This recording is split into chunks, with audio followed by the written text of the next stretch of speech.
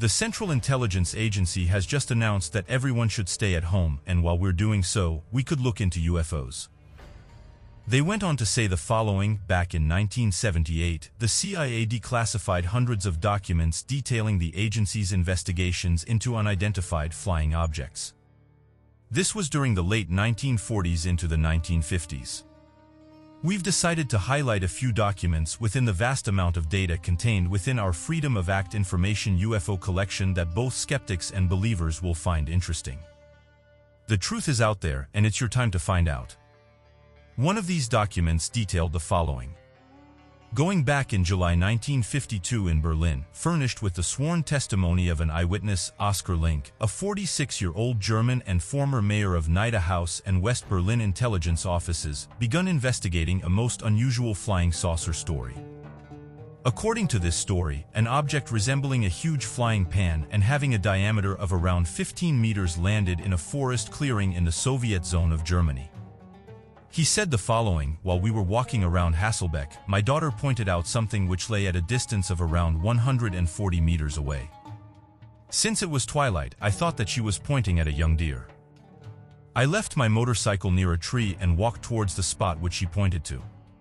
When, however, I reached the spot around 55 meters from the object, I realized that my first impression had been wrong. What I had seen were two men who were now about 40 meters away from me. They seemed to be dressed in some shiny metallic clothing. They were stooped over and were looking at something lying on the ground. I approached until I was around 10 meters from them. I looked over a small fence and then noticed a large object whose diameter I estimated to be between 13 and 15 meters. It looked like a huge frying pan. There were two rows of holes in this periphery, around 30 centimeters in circumference. The space between the two rows was around 0.45 meters. On top of this metal object was a black conical tower around 3 meters high. At that moment my daughter, who had remained a short distance behind me, called me. The two men must have heard my daughter's voice because they immediately jumped on the conical tower and disappeared inside. I'd previously noted that one of the men had a lamp on the front part of his body, which lit up at regular interviews. Now the side of the object on which the holes had been opened began to glitter. Its color seemed green but later turned red. At the same time I began to hear a slight hum. While the brightness and hum increased, the conical tower began to slide down into the center of the object. The whole object then began to rise slowly from the ground and rotate like a tomb. It seemed to me as if it was being supported by the cylindrical plant which had gone down from the top of the object through the center and had now appeared from its bottom on the ground. The object surrounded by a ring of flame was now a certain number of feet above the ground. I then noted that the whole object had risen slowly from the ground. The cylinder on which it was supported had now disappeared within its center and had reappeared on top of the object. The rate of climb had now become greater. At the same time, my daughter and I heard a whistling sound similar to heard when a bomb falls. The object rose to a horizontal position, turned towards a neighboring town, and then gained altitude. It disappeared over the heights of the forest in the direction of Stockheim. For the last few decades now, interesting reports have been coming from national parks. National parks are beautiful places to visit and offer some of the world's best sights. Unfortunately, these perfect natural sceneries also hold a secret that many have tried to explain. Although many of them are visited by tens of thousands of people every year, there's still a large amount of land that is rarely visited by people and this could be due to a number of reasons. Perhaps they are out of the way of normal paths. It's a hazard to get to them or they're just blocked off from the public. There are many experienced hikers and campers who disappear completely. Some such hikers even laid out plans of travel. Backup phones in case of emergencies telling family members and friends where their trail will be covering and so on. But when research parties go out to find them, not a single clue left behind as to what could have happened to them seems to serve it. However, recently it's come to the attention of some that even though there is a worrying trend of people going missing in national parks, there's also an increase in people encountering mysterious creatures. Scientists and researchers who work in the region have said that what people are seeing is nothing more than unidentified wildlife. But the people that encounter these creatures disagree. saying they know what they saw and it's unlike anything they've seen before. Going back a few years ago, park ranger surveillance from Round Rock Parks from Recreation came forward with some interesting photographs. The photos in question showed what appeared to be big footprints, and it got many people excited by the fact that these reports were being taken seriously. Three black and white photographs were posted which showed large footprints. It's said that it's not just footprints that have been reported in this location, but also clumps of hair and mysterious noises. However, a few weeks after the photographs made the rounds, they came forward with another update, and they said that the prints were fake and were used to try and bring in more Torres. Although this was laughed off by most people, there were some that didn't see the funny side, with one person saying that they had seen a real Bigfoot and it was no laughing matter. Over the years, many different reports have emerged of people encountering mysterious things while in national parks. One of these comes from Santa Fe National Park. Going back, officials came forward about the appearance of mysterious wood structures. What's strange is that not only are they tall, but they seemingly appeared overnight. Most of them are between 6 and 20 feet in height and after taking down some of them, officials said they were built by using over 1,000 pieces of wood. One spokesperson said the wood structures are appearing at an alarming rate and their frequency has increased over time. The structures had park officials and even police officers baffled as to who was creating them. And not only that, but how these individuals managed to create them at such a fast pace. One of the concerns was that these structures posed a huge fire hazard. This is because they've been compared to structures that resemble those that used to build wood fires in the forest. However, these ones are much taller. The worry wasn't so much that whoever was building them was going to create a fire. But the vandals may see them and want to set them on fire. If they were to be lit on fire, the authorities said it would be extremely hard to get them under control. At this moment in time, park officials have no idea who is behind the building of these strange wood structures, and they can't figure out a motive behind the construction of them. Some have suggested it's just the work of poor teenagers, however, to build them at the rates they're being built. You would need an extremely large group of people. It's been announced by the Forest Service that anyone caught building these wood structures will be fined $5,000. The structures are being built on federal land and they will treat it as trespassing. The forest officials have now said they're becoming more common than ever. One of the things that people encounter while exploring national parks is mysterious sounds. Many have come forward and said that while hiking it feels as if low and high-pitched sounds are following them. Some believe there could be creatures lurking out in our national parks that are causing these disappearances. Over the years, experts have come forward and said that they've encountered large humanoid creatures while out in these open areas.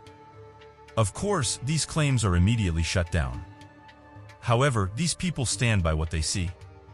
One hunter claimed that while camping in a national park, he heard strange grunting noises. When pointing a flashlight to where the noises were coming from, he saw a large Bigfoot-like creature, stating that it was over 8 feet tall. These creatures usually follow a theme. They stand on two legs and are roughly 7 to 12 feet tall. They have the general appearance of that of a large ape-like creature. Sightings of this beast have persisted for eons since the time of the Aborigines in their ancient mythological folklore. What is all the more startling about these claims is that even in the modern day people are encountering these creatures all over the globe there have been reports of them from Tibet. America and even Australia there's no shortage of these stories ancient myths credit these creatures as having run-ins with humans and when this happens it doesn't usually end well. Some have even managed to record some of these mysterious calls, and when given to scientists they have said that humans are unable to make these kinds of noises. Going back, old tales said that in Australia, the Yowie were the original inhabitants of the Australian continent, but were completely driven out of their native lands by men that came there to settle. Las Vegas, Reno, and Fresno. There lies an area that's become known as the Nevada Triangle. The most famous triangle is the Bermuda Triangle, but this location has its fair share of strange happenings.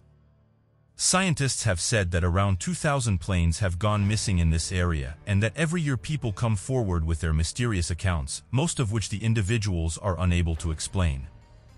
There have also been many people that have gone missing in this area. One person said that while here they were approached by an elderly man. The woman was asking for directions and the man was telling her where to go. At first everything seemed fine, but when she turned around to thank the man he was nowhere to be seen. The individual insists that to this day she has no idea where the man went. Then there's the reports of mysterious lights in the sky. For many years now, people close to this area have reported strange objects in the sky. These unidentified flying objects usually range in size from 20 to 65 feet in length and give off a variety of colors. The strangest thing about these objects is that they suddenly vanish without a trace. One person even reported that one of the objects appeared to follow her. Even after she got in her car, the object stayed in the sky and continued to follow her home. After this encounter, she said she went on to have nightmares for the next few weeks. But perhaps the most common report is that of large humanoid creatures said to live in the area. One person who was hiking said they could see what appeared to be a large human crouched in the bushes. When they went in for a closer look, however, it turned out to be something they couldn't identify. Although it was crouched, they were able to give quite an accurate description of the being. And said that if it was standing, they think it would have been around 8 feet in height. It possessed two large brown eyes and was covered in thick dark curly fur. Whatever it was, it was trying to hide away from the individual. Whatever's going on in this area, it seems to be affecting quite a few people. As of right now, some have made the connection between national parks and have said that the majority of them have similar stories. With people detailing the same thing without even talking to each other. This has caused some to suggest there could be an unidentified creature out in the wilderness that every so often comes into contact with humans. After all, there's still a lot of this planet that remains to be explored, and this has made some put forward the idea that these creatures could be living in these locations out of the way of the majority of humans. Regardless, as of right now, scientists and researchers think that what people are seeing and encountering is nothing more than wildlife, and until solid evidence comes through, it's unlikely they're going to change their minds. Regardless, every year individuals are still coming forward and reporting the same thing. If someone is looking for information that is not publicly available, they can submit a Freedom of Information at request, you have to detail what you seek and why you want it, and in some cases many do end up getting replies or the information they were looking for. It doesn't always result in the individual getting what they want, but it does sometimes happen. This has caused various people to submit these requests in the hopes of getting the answers they seek. As reported by various outlets, most federal agencies now accept a freedom of information at request electronically, including by web form or email. If the agency agrees to your terms and the reason behind you wanting the information, you will usually get a reply with the document you seek attached. However, in some rare cases, some get more information than what they originally asked for.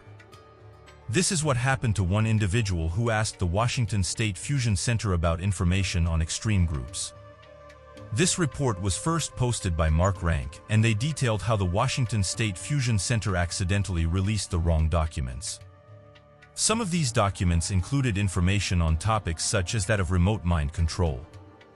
The individual said they posted the standard Freedom of Information request, but got a bit more than what they asked for. Inside the email was attached an EMFX on the human body. It's fair to say that whoever sent these documents made a monumental error. It's no secret that the government carries out a variety of experiments and tests, the majority of the time these are kept under wraps and the general public don't end up hearing about them. But this was one of those times where a human error caused a leak in information and one that they most probably regretted. According to the documents, they detailed out of psychoelectronic weapons and remote mind control the journalists behind the original requests. Mr. Waltman then decided to open the files inside were a variety of illustrations that show different devices and techniques these devices were created with the sole purpose of manipulating the human mind one such weapon detailed how it uses electromagnetic forces to mess with the human body essentially this device causes intense pain to the individual it's used on. Although these files are fascinating it's also kind of scary. There have been whispers of these kinds of devices being used. When it's on paper though and sent to you by government officials, it becomes all the more interesting. As some have pointed out, why would they have this paper if it was made up? One individual claimed that the National Security Agency has the ability to take down U.S. citizens. And they can do this by using psychological control operations. This can essentially cause everyday people to come across as insane, but this isn't their normal behavior, they're just reacting to the electronic device that's being used on them. Some handy technology if you're trying to make someone come across as being insane. The documents even go into detail remote brain mapping, even going as far as showing an illustration of a van parked outside a house. And sending electronic waves into people's brains and houses. Some have said that what they're doing is hitting you with these waves and then broadcasting your thoughts. It's not known where this information goes, but it could be into some kind of system. Again, this is just going by what the document says. This isn't something that's been made up, and the crazy thing is that the individual didn't even ask for these documents. They were accidentally sent to him. MuckRock went on to say that he doesn't think the files are official, but does admit that it's a little strange how they ended up in their request. Others have gone on to say that this is evidence that they carry out these types of tests on the population, with others suggesting they use this technology to interrogate people. As some have pointed out though, it does seem like a strange link.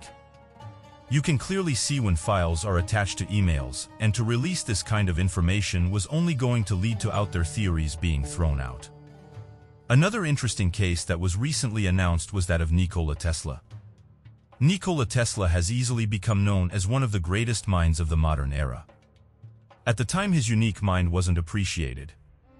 It's only been in the years following his death that people respected what he was trying to achieve. Nikola Tesla wasn't one to shy away from electricity and being able to harness it. He also worked on anti-gravity technology and something that became known as the ether. One of his famous quotes was the following, I have worked out a dynamic theory of gravity in all details, and hope to give this to the world very soon. As with many of the great minds of the past, there's a lot of people today that don't understand the impact they had on modern-day life. Recently, the FBI released 64 pages of unreleased documents. This includes things like papers and documents that were collected shortly after Tesla passed away. For many years now theories have been floating around as to why Tesla's work was collected by the government. Some have said that Tesla's work wasn't important and wouldn't have impacts on us. If this was the case then why did the United States government quickly swoop in and collect his work?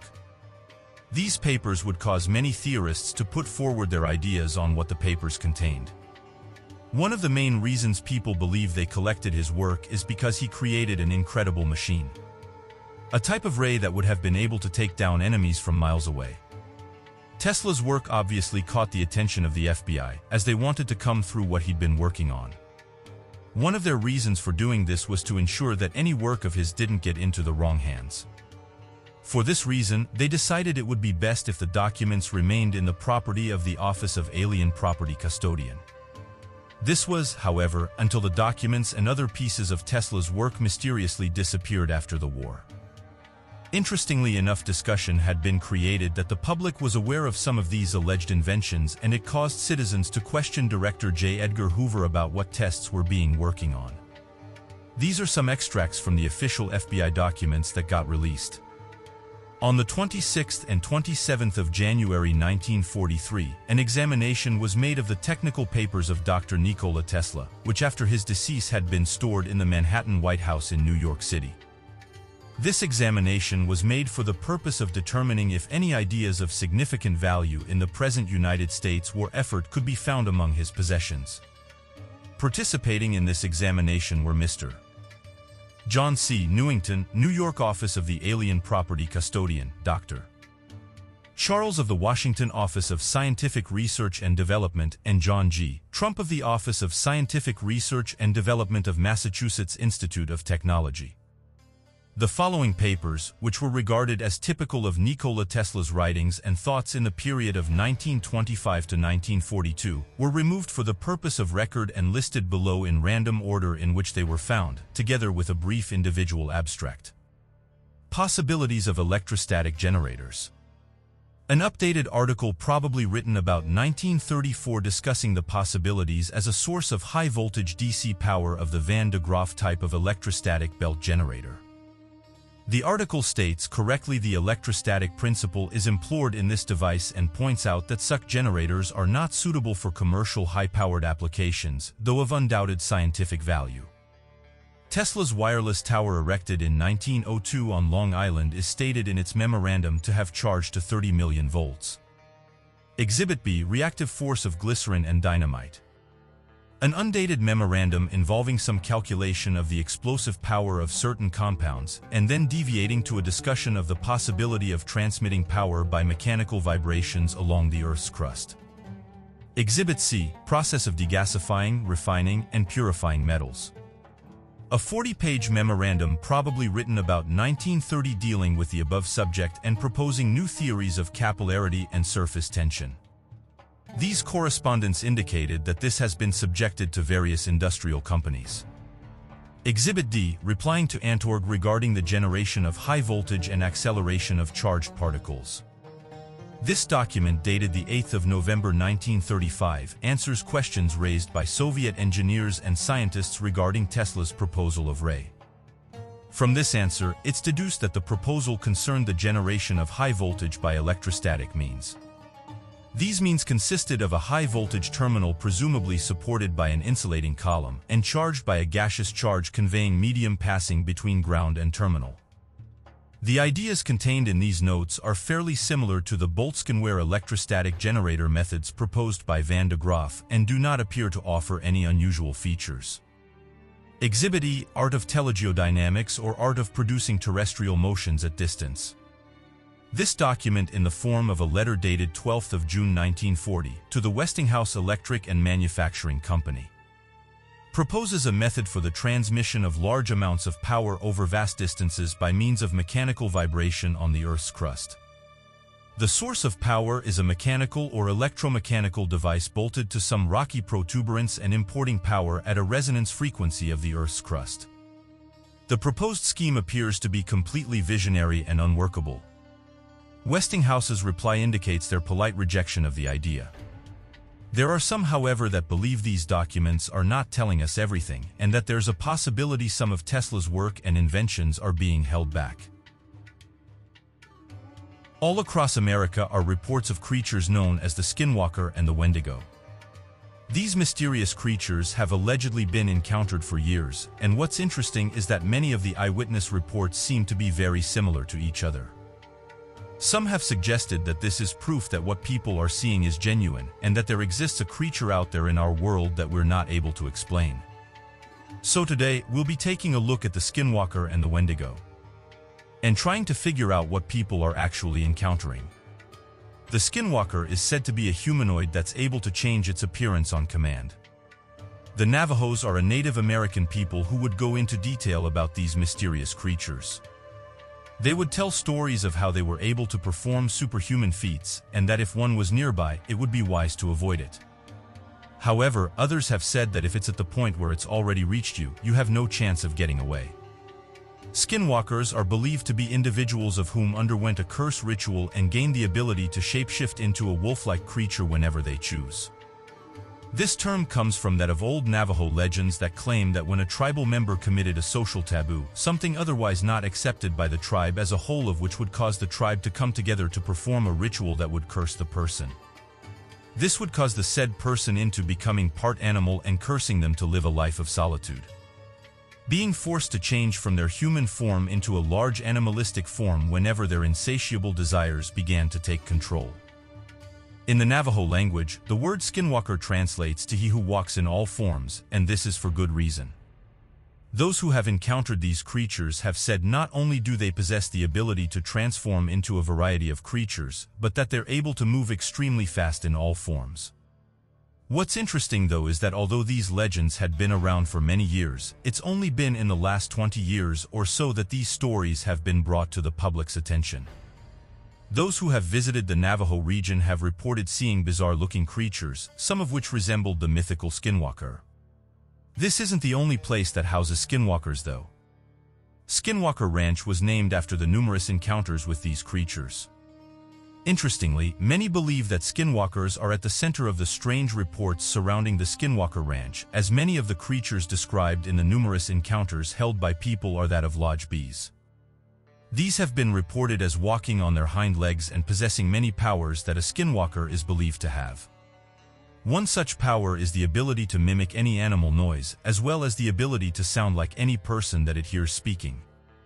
This strange ability is being heard by numerous witnesses of whom claim to have seen a large moving beast in the area, as well as hearing a number of large animal calls shortly after, as well as their own voice being echoed back to them after they called out in fear. What's worrying is it's said that if you hear these sounds, the skinwalker is stalking you. Even more worrying is that most people celebrate when they hear the sounds getting fainter, thinking that the creature is getting further away.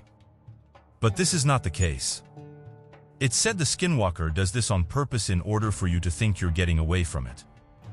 Then when you begin to relax, that's when it strikes. Not many people have heard the sounds and live to tell the tale. As it's reported, every year people go missing in these regions because of the skinwalkers. These claims, sightings and legends have led to the entire area being known as the Skinwalker Ranch. With many believing the local native or American legends involving the creature were told in truth. And they were told about a population of such cursed people transforming in the region and having a small population throughout the area. This has led many researchers to study the area, as well as a team of researchers funded by James Randi himself, to purchase the ranch and begin a wide variety of tests and procedures. This was to uncover the strange encounters and mountain of evidence surrounding it. What's odd is that people have made the connection between skinwalkers and mysterious lines. Those who have lived on the ranch have said that when one of these creatures is sighted, shortly after there will be mysterious lights in the sky. In fact, a previous owner said that during these encounters he thought both the skinwalkers and lights were working together. The first ever reported sighting of an unidentified flying object was reported by the family that lived on the ranch. That had originally believed the craft to be some form of top-secret military project of immense size.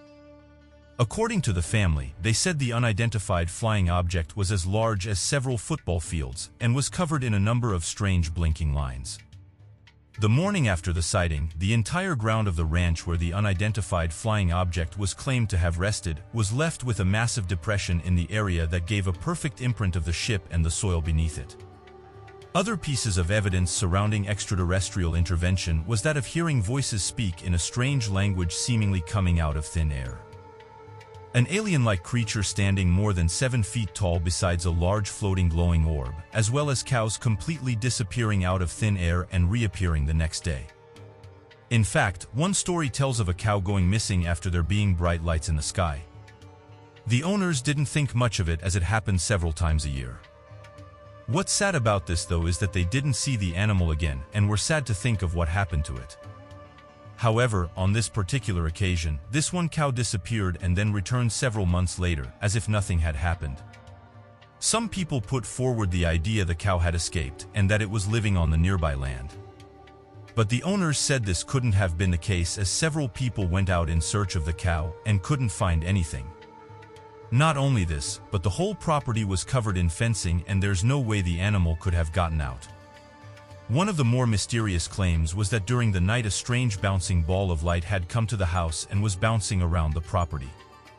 This would lead their three dogs to break free and begin chasing the balls away from the house, only for them to never return again after seemingly vanishing from thin air, along with the bouncing ball of light.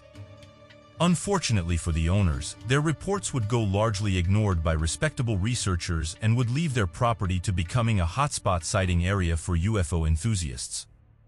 They would journey to the ranchers all hours of the day and harass the owners by invading their personal space and setting up camping equipment in the hopes of coming across extraterrestrial contact. One of the owners said the following about what they'd witnessed. And then shortly after these portals opened, mysterious objects would fly out of them. I was able to see these crafts exit the portals and then fly around the property for a while before returning. There must be something here that interests them as we're always seeing them. If I had to guess, I would say the crafts are around 40 to 60 feet in diameter. Mysterious humanoids have also been witnessed on the ranch. These human-like creatures are believed to be around 6 to 7 feet tall and have a dark presence. Some have suggested they are similar to the men in black. What's odd though is the fact that these entities seem to appear out of nowhere. People who have lived or visited the ranch have encountered these mysterious creatures. It's believed they are able to read the minds and even communicate through thoughts. Numerous people have come forward and said that while being near the ranch they have seen these strange people. One person said they encountered a strange man when they was around half a mile from the ranch. They stopped to ask him for directions, but he didn't answer. He just stared at them until they drove off. Another person had a similar encounter. A man approached them as they was parked up close to the ranch. He stood in front of their car and started to make strange noises. The people described it as a crackling noise. They found this person strange so decided to move on. These stories all follow a similar theme. Whoever these people are, they don't seem to like people being near the ranch. And almost always try to get them to move on. One of the most highly debated cryptids of cryptozoology is that of the Wendigo, a North American monster that creates a large dividing line amongst the cryptozoological community on whether or not it was completely fabricated or a true witness account. Though the Wendigo is often being compared to that of the jackalope, there are many that swear the existence of the Wendigo is not a fabrication of any kind. According to witness accounts, the Wendigo is described as being somewhere between the size of an average person to be more than 15 feet tall and have a physical appearance similar to that of a skeleton frame with gray skin, sunken eyes, large yellow fangs, and a long slimy tongue. The legend of the Wendigo dates as far back as 40,000 years. These legends would tell of the creatures disguising themselves as a human in the hopes of being led back to the human villages. If it was eventually taken back to the village, it would immediately begin to devour anyone in sight. Today, no such evidence of the creature exists, and every video recording of such a monster has proven to be inconclusive or completely forged. Still, despite the lack of evidence, the Wendigo is one of the most popular North American monsters and continues to make his existence known all throughout Canada. People to this day have reported encountering the creature especially when venturing out into the wilderness where there's not many people around. Interestingly, some have made the connection between this creature and the skinwalker, saying that perhaps what people are seeing is the same creature. Some have compared the two and say they do share some of the same characteristics. Going back a few years ago, a household in Canada experienced something strange. One of the residents said the following about the event. Here in Canada, I have Inuits in a place called the Northwest Territories. They are native and have a lot of weird tales from their community. They have families spread all over the north, lots of whom are in Alberta as well and will play into this story. On this particular occasion, it was a typical winter night. This happened around 10 years ago in my Inuit's grandparents' house. Due to it being this time of year, it was very dark and way too cold to be outside. It was at least minus 40 degrees Celsius. Everyone was hanging out. People were watching TV and the kids were playing. A typical family evening. However, this was interrupted by a knocking at the door. The knocking was hard and persistent. This was immediately strange as they live way outside any real towns with kilometers between neighbors. And unannounced guests were almost unheard of. Their grandparents were visibly concerned and told them not to answer the door. The knocking became harder and the guests began to speak, loudly stating they were an auntie and had been invited over. The kids wanted to answer the door to see their auntie, and apparently it sounded exactly like her. So their grandpa had to block the kids from going near the door and told them to get away from the door and the windows as well. The knocking became pounding and the guests started yelling and screaming to be let in. Eventually it stopped and the guest was gone. The next morning there was no tracks outside in the snow, and no signs of Iroquois had been in the area. This auntie lived in Alberta and had made no plans to visit. Nothing happened after that, but it's something that does happen in these areas. Believe it or not, Wendigo is a major piece of folklore in that family. And they refuse to talk about it for fear of drawing one in. The police do incredible work and they're usually the first ones on the scene. This, however, is there to some officers experience things they can't explain. One of the places where officers are usually seen strange things is that of the Navajo Reservation of the American Southwest. This location is known for mysterious and legendary stories, and the police here have encountered some strange things. One of the issues, though, is when police report these types of encounters. They can be mocked and looked down upon. However, the police at Navajo Reservation have a different view on things. They take these sightings and encounters seriously and will try to look into and understand each report. After all, for the last few decades many strange stories have been coming out of this region. So it's clearly not just them that are encountering something strange. The NLR gives people somewhere to go for such cases. They have allowed people to talk to them and have their cases investigated. One case was reported as the following. An unnamed person was driving late at night when they encountered something strange. Their headlights were reflecting a creature's eyes. However, this was an animal they had never seen before. As they drove towards the creature, it started running towards the car. The person put the car into reverse and tried to get out of there as quickly as they could. They said the creature looked to be humanoid in appearance, but was only around two feet tall. To this day, they have no idea what they encountered.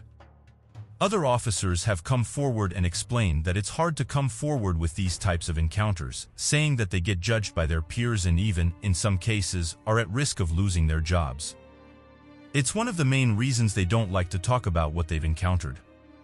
What's interesting though is that law enforcement are usually the first people in the scene, and it's not out of the ordinary for them to see things that are hard to explain. Another officer said the following about their encounter. While driving through the Navajo, I encountered something I've never seen before. It was around 11.30 at night and there was nobody around.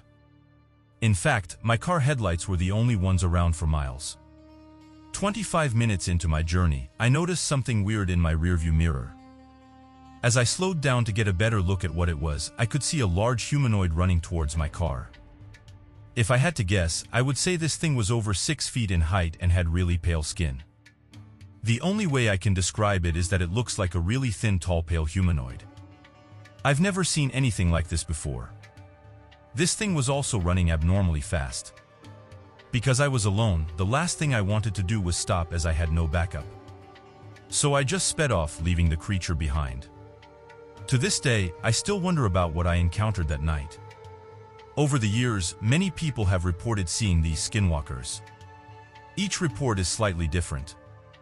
However, most of them follow a similar theme. Seeing a large humanoid that doesn't usually look like a human and that is able to travel fast. This person encounters something strange while with their friends. They said the following, while driving near Marlboro, me and my friends encountered something we couldn't explain. This all started when we decided to go for a drive. After I passed my test, this was one of our favorite things to do. On this particular occasion, I picked them up around 9.30 p.m. and at this point it was already dark due to it being a cold November night. After driving down country roads, we decided to pull over near an old abandoned farmer's building. We'd been here a few times before and it was a well-known hangout spot. When we arrived, we took a torch with us and made our way down to the building. Although it was creepy looking, none of us had experienced anything here until this particular night. We were here for around 15 minutes when we started to hear noises. I was the bravest out of all of my friends and suggested the noises were animals. We were surrounded by dense woodland and a small road. However, every so often we did hear noises in the forest. These noises were coming from behind the building so we could hear them quite clearly. As me and my friends made our way back there, we decided to shine our torch into the forest. As we did, we saw two reflective yellow eyes. This immediately put us all on edge and we started to get worried. There was nothing close by if we did get into any trouble. This thing then started to stand up and make its way towards us. As it did, we got a good view of it. The creature was over six foot tall, bold and had pale white skin. Its skin was also very wrinkly and it looked as though it had a very fine coat of hair. We'd never seen anything like this before. It was like something from a horror movie. As we all stood there frozen, we watched this thing let out a loud screech noise. As it did, we all ran as fast as we could back to my car. I drove as fast as I could. The next day we brought up what had happened last night, but none of us could come to a logical conclusion as to what we saw. What we described sounds like a human, but this thing didn't look like a human. It was completely hairless and was almost alien-like. It was also tall and looked as though its arms were too long for its body. We have no idea what happened that night. Unfortunately, during these events most people are caught off guard. So we're only left with testimonies of those affected. Another person had this to say about their encounter. Six or seven years ago, I was at my family's cottage with my family. My dad, my little sister, and I went back for ice cream and came back after dark. I was in the back right seat and my little sister was on the other side. We pulled into the cottage and I got out my door. But I was startled to see a beige figure standing upright behind my shoulder. I stared at it for a second and then it quickly backed up and ran to the front of the car. This was where my dad and sister were waiting for me to go inside. I asked them if they had just been standing behind me to scare me. However, they looked at me strange and said no. This thing was dark and I could only see the silhouette of whatever it was. For some reason, it struck me as dog-like. This was an era with lots of Native American lore and history. I was reading a book about cryptids a couple of days later and saw a picture of a skinwalker. It looked very similar to what I saw, except this figure was my height not the size of a full-grown man. All of the reports seemed to point to this creature being a tall humanoid. With that being said, no definitive proof of this creature exists. Meaning for now we only have Winnie's testimonies to go by. For the last few years, Tom DeLonge has expressed his interest in unidentified flying objects. He's said that he's been fascinated with them for years. While on tour, he would read books that explored the possibility of extraterrestrials, and since then, he's been hooked. Recently, Tom came forward on Instagram and said that he'd witnessed an unidentified aerial phenomenon. He said the following about his encounter. So last night I get a text from somebody that there was an unidentified air phenomena right off the beach where I live. I ran to my balcony and saw it split into two pieces and raise vertically. I grabbed Marie, jumped in my truck and went straight down to the beach.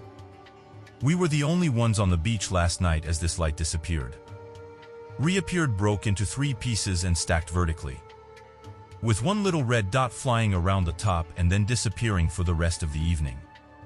This video doesn't show much, but we were up quite late watching the light dance, about half a mile to a mile off the beach. It was huge and it was fiery orange. Of course, I called up Lou Elizondo as I was there, and he was telling me all the things I was supposed to do with the location, geographic details, weather, altitude and distance. Of course, I was completely worthless when it came to these details, but it was a big deal. Lou checked immediately and there was no flights in the area except the one I had my eye on the entire time. No military, no boats and a bunch of hovering lights that were stacked on top of each other. It was wild. Who knows? Various people were impressed with the footage, even coming forward and saying that they had seen similar objects. Recently, it was announced by Tom DeLonge and his To the Stars Academy that they were working with the U.S. government in regards to their unidentified aerophenomenal discovery. The company has also said they've brought on some leading researchers on AI and that they're working on a new service.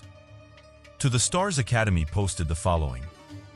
As part of our AI initiatives, we've built a compelling service for post-ingestion and analysis processing, which marks an instance authentic if it passes human and machine learning analysis. These datasets will help us analyze future ingested media and clean up unnecessary data. Tom then went on to say the following, this is a very exciting technology we've built. It can be used for numerous defense requirements as well as its primary mission to track unidentified L phenomenon. Further saying the following, I'm proud to be collaborating with the US government on the unidentified air phenomenon issue. It's been a lifelong dream to be sitting in this seat, where I and my team at the To the Stars Academy can help understand the issue. First, we start with the U.S. Army testing our anomalous material, purportedly from an unidentified air phenomenon crash. Although this is great news in the sense that Tom and his company are making connections, others have worried about the path he's going down. It's important to remember though that a UFO is simply an object that someone cannot identify at that moment in time. As of right now, Tom has said it's an exciting time for him and his company.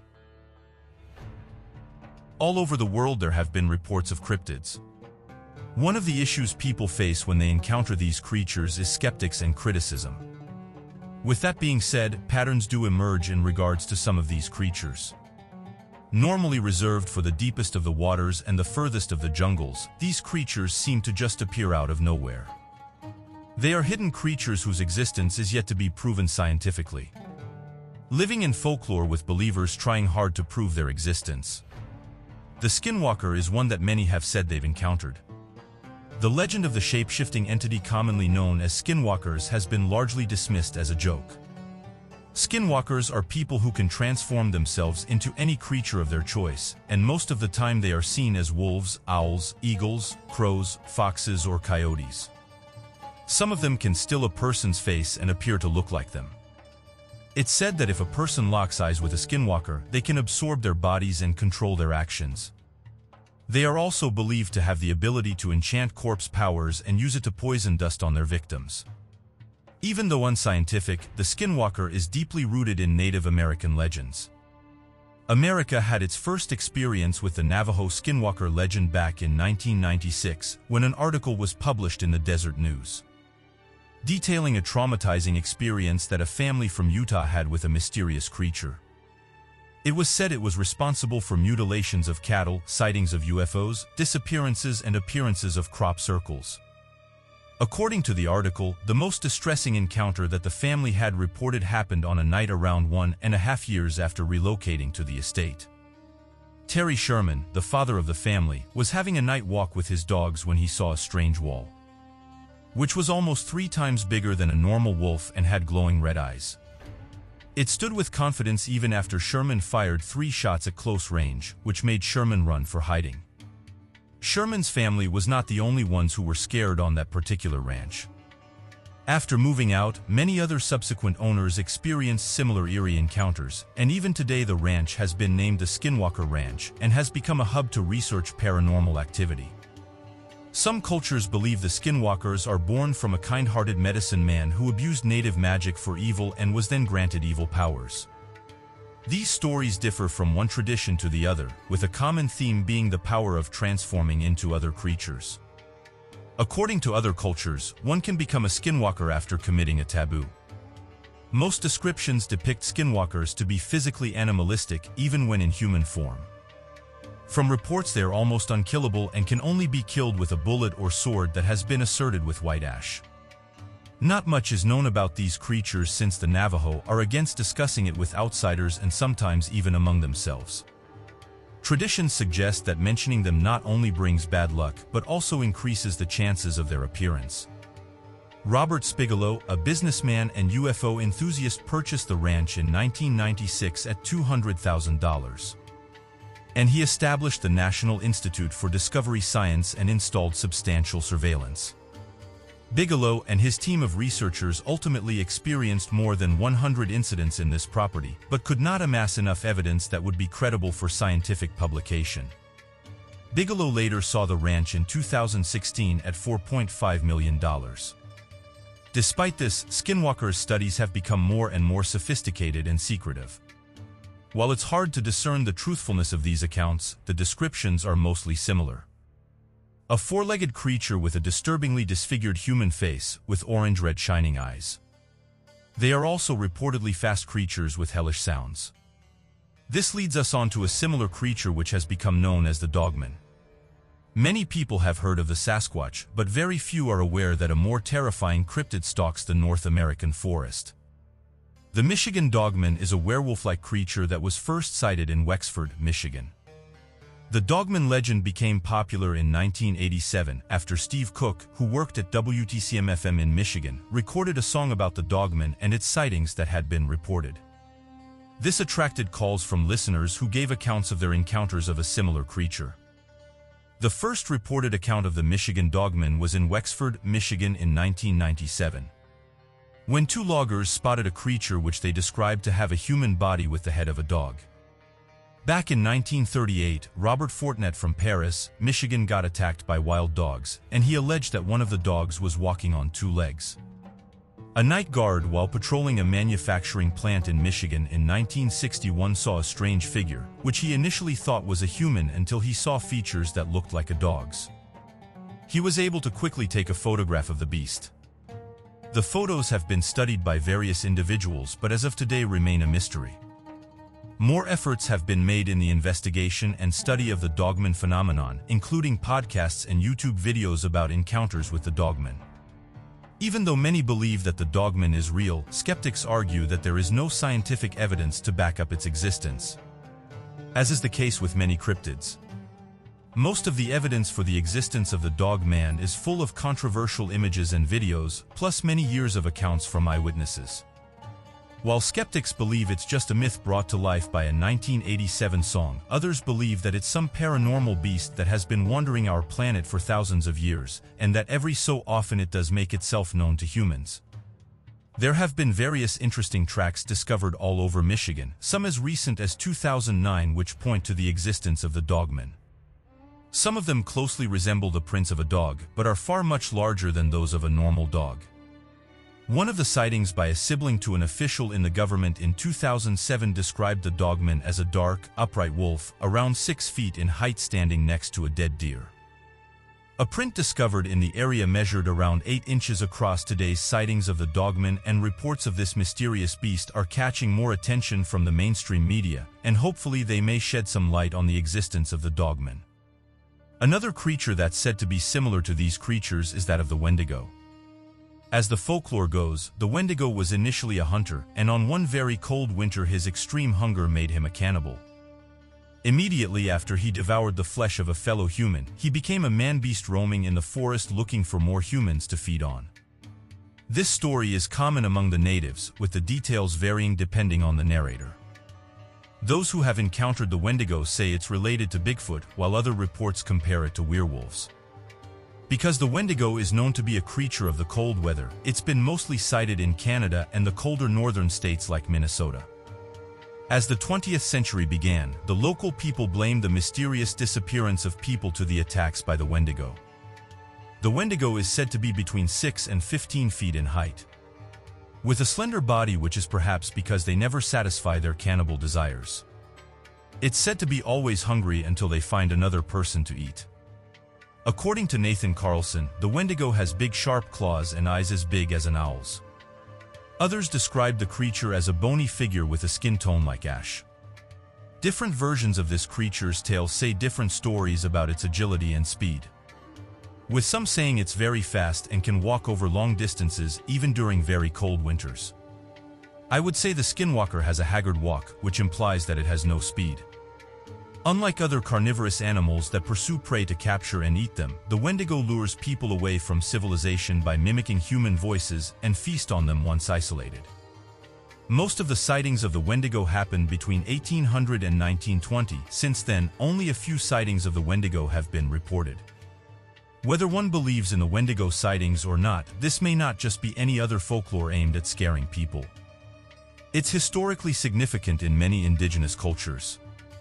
This legend has been associated with problems in real life like selfishness, violence, and greed.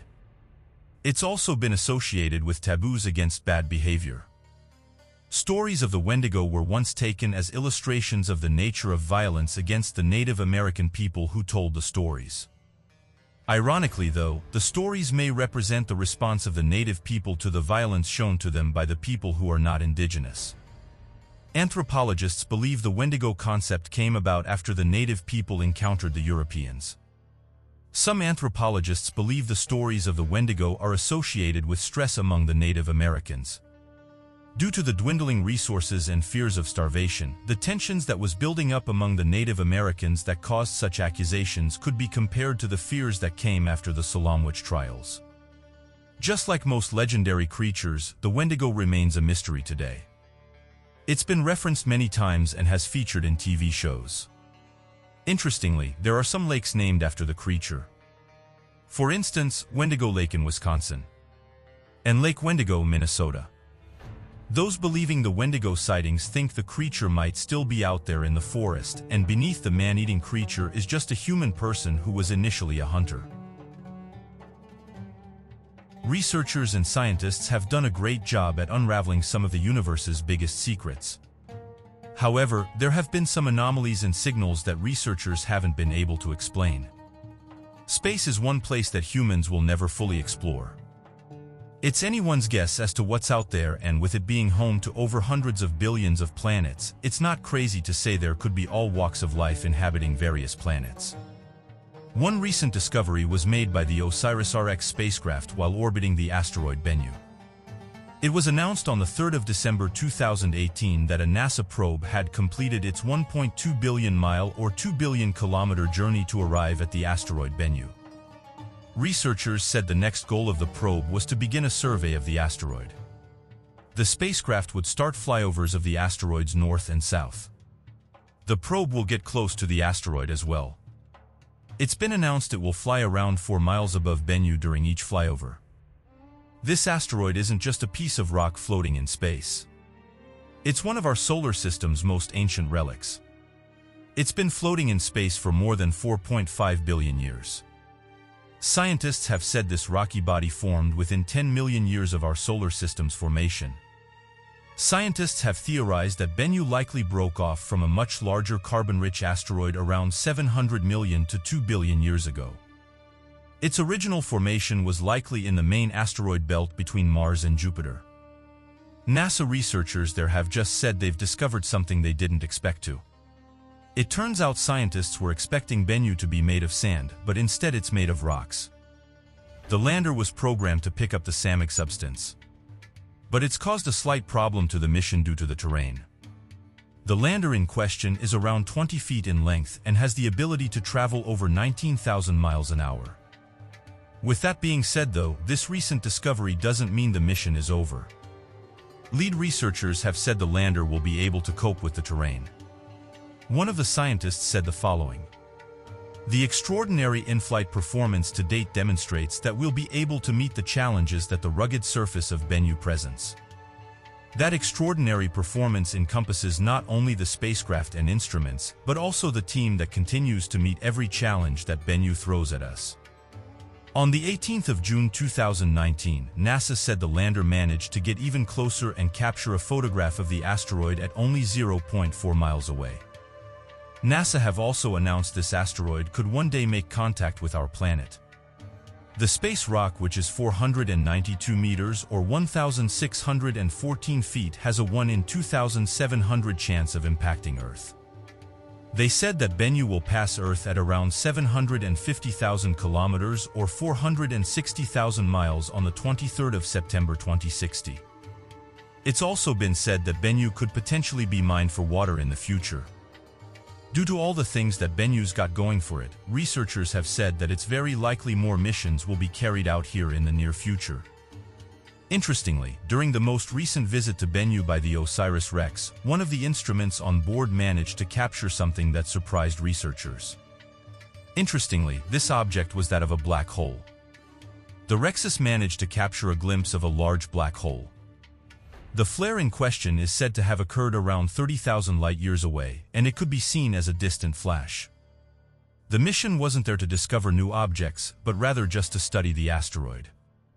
However, the instruments were able to show researchers we really don't know what's out there in space. One of the researchers said the following about the discovery. We set out to train students how to build and operate space instruments.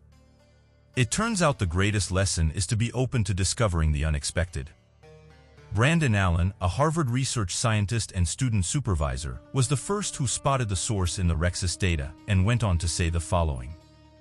Our initial check showed no previously catalogued object in that position in space. It's fair to say that black holes are one of the most interesting objects in space, and it seems that every year we learn a little more about these mysterious giants. Another interesting discovery researchers have made is that of gravitational waves sent out from a black hole. Our universe holds a massive amount of galaxies along with an even more countless number of mysteries. Over the years, black holes have caused much speculation in the scientific community. Though these findings have made scientists question the very nature of reality, these incredible discoveries of supermassive black holes have helped us to better understand the true nature of our universe.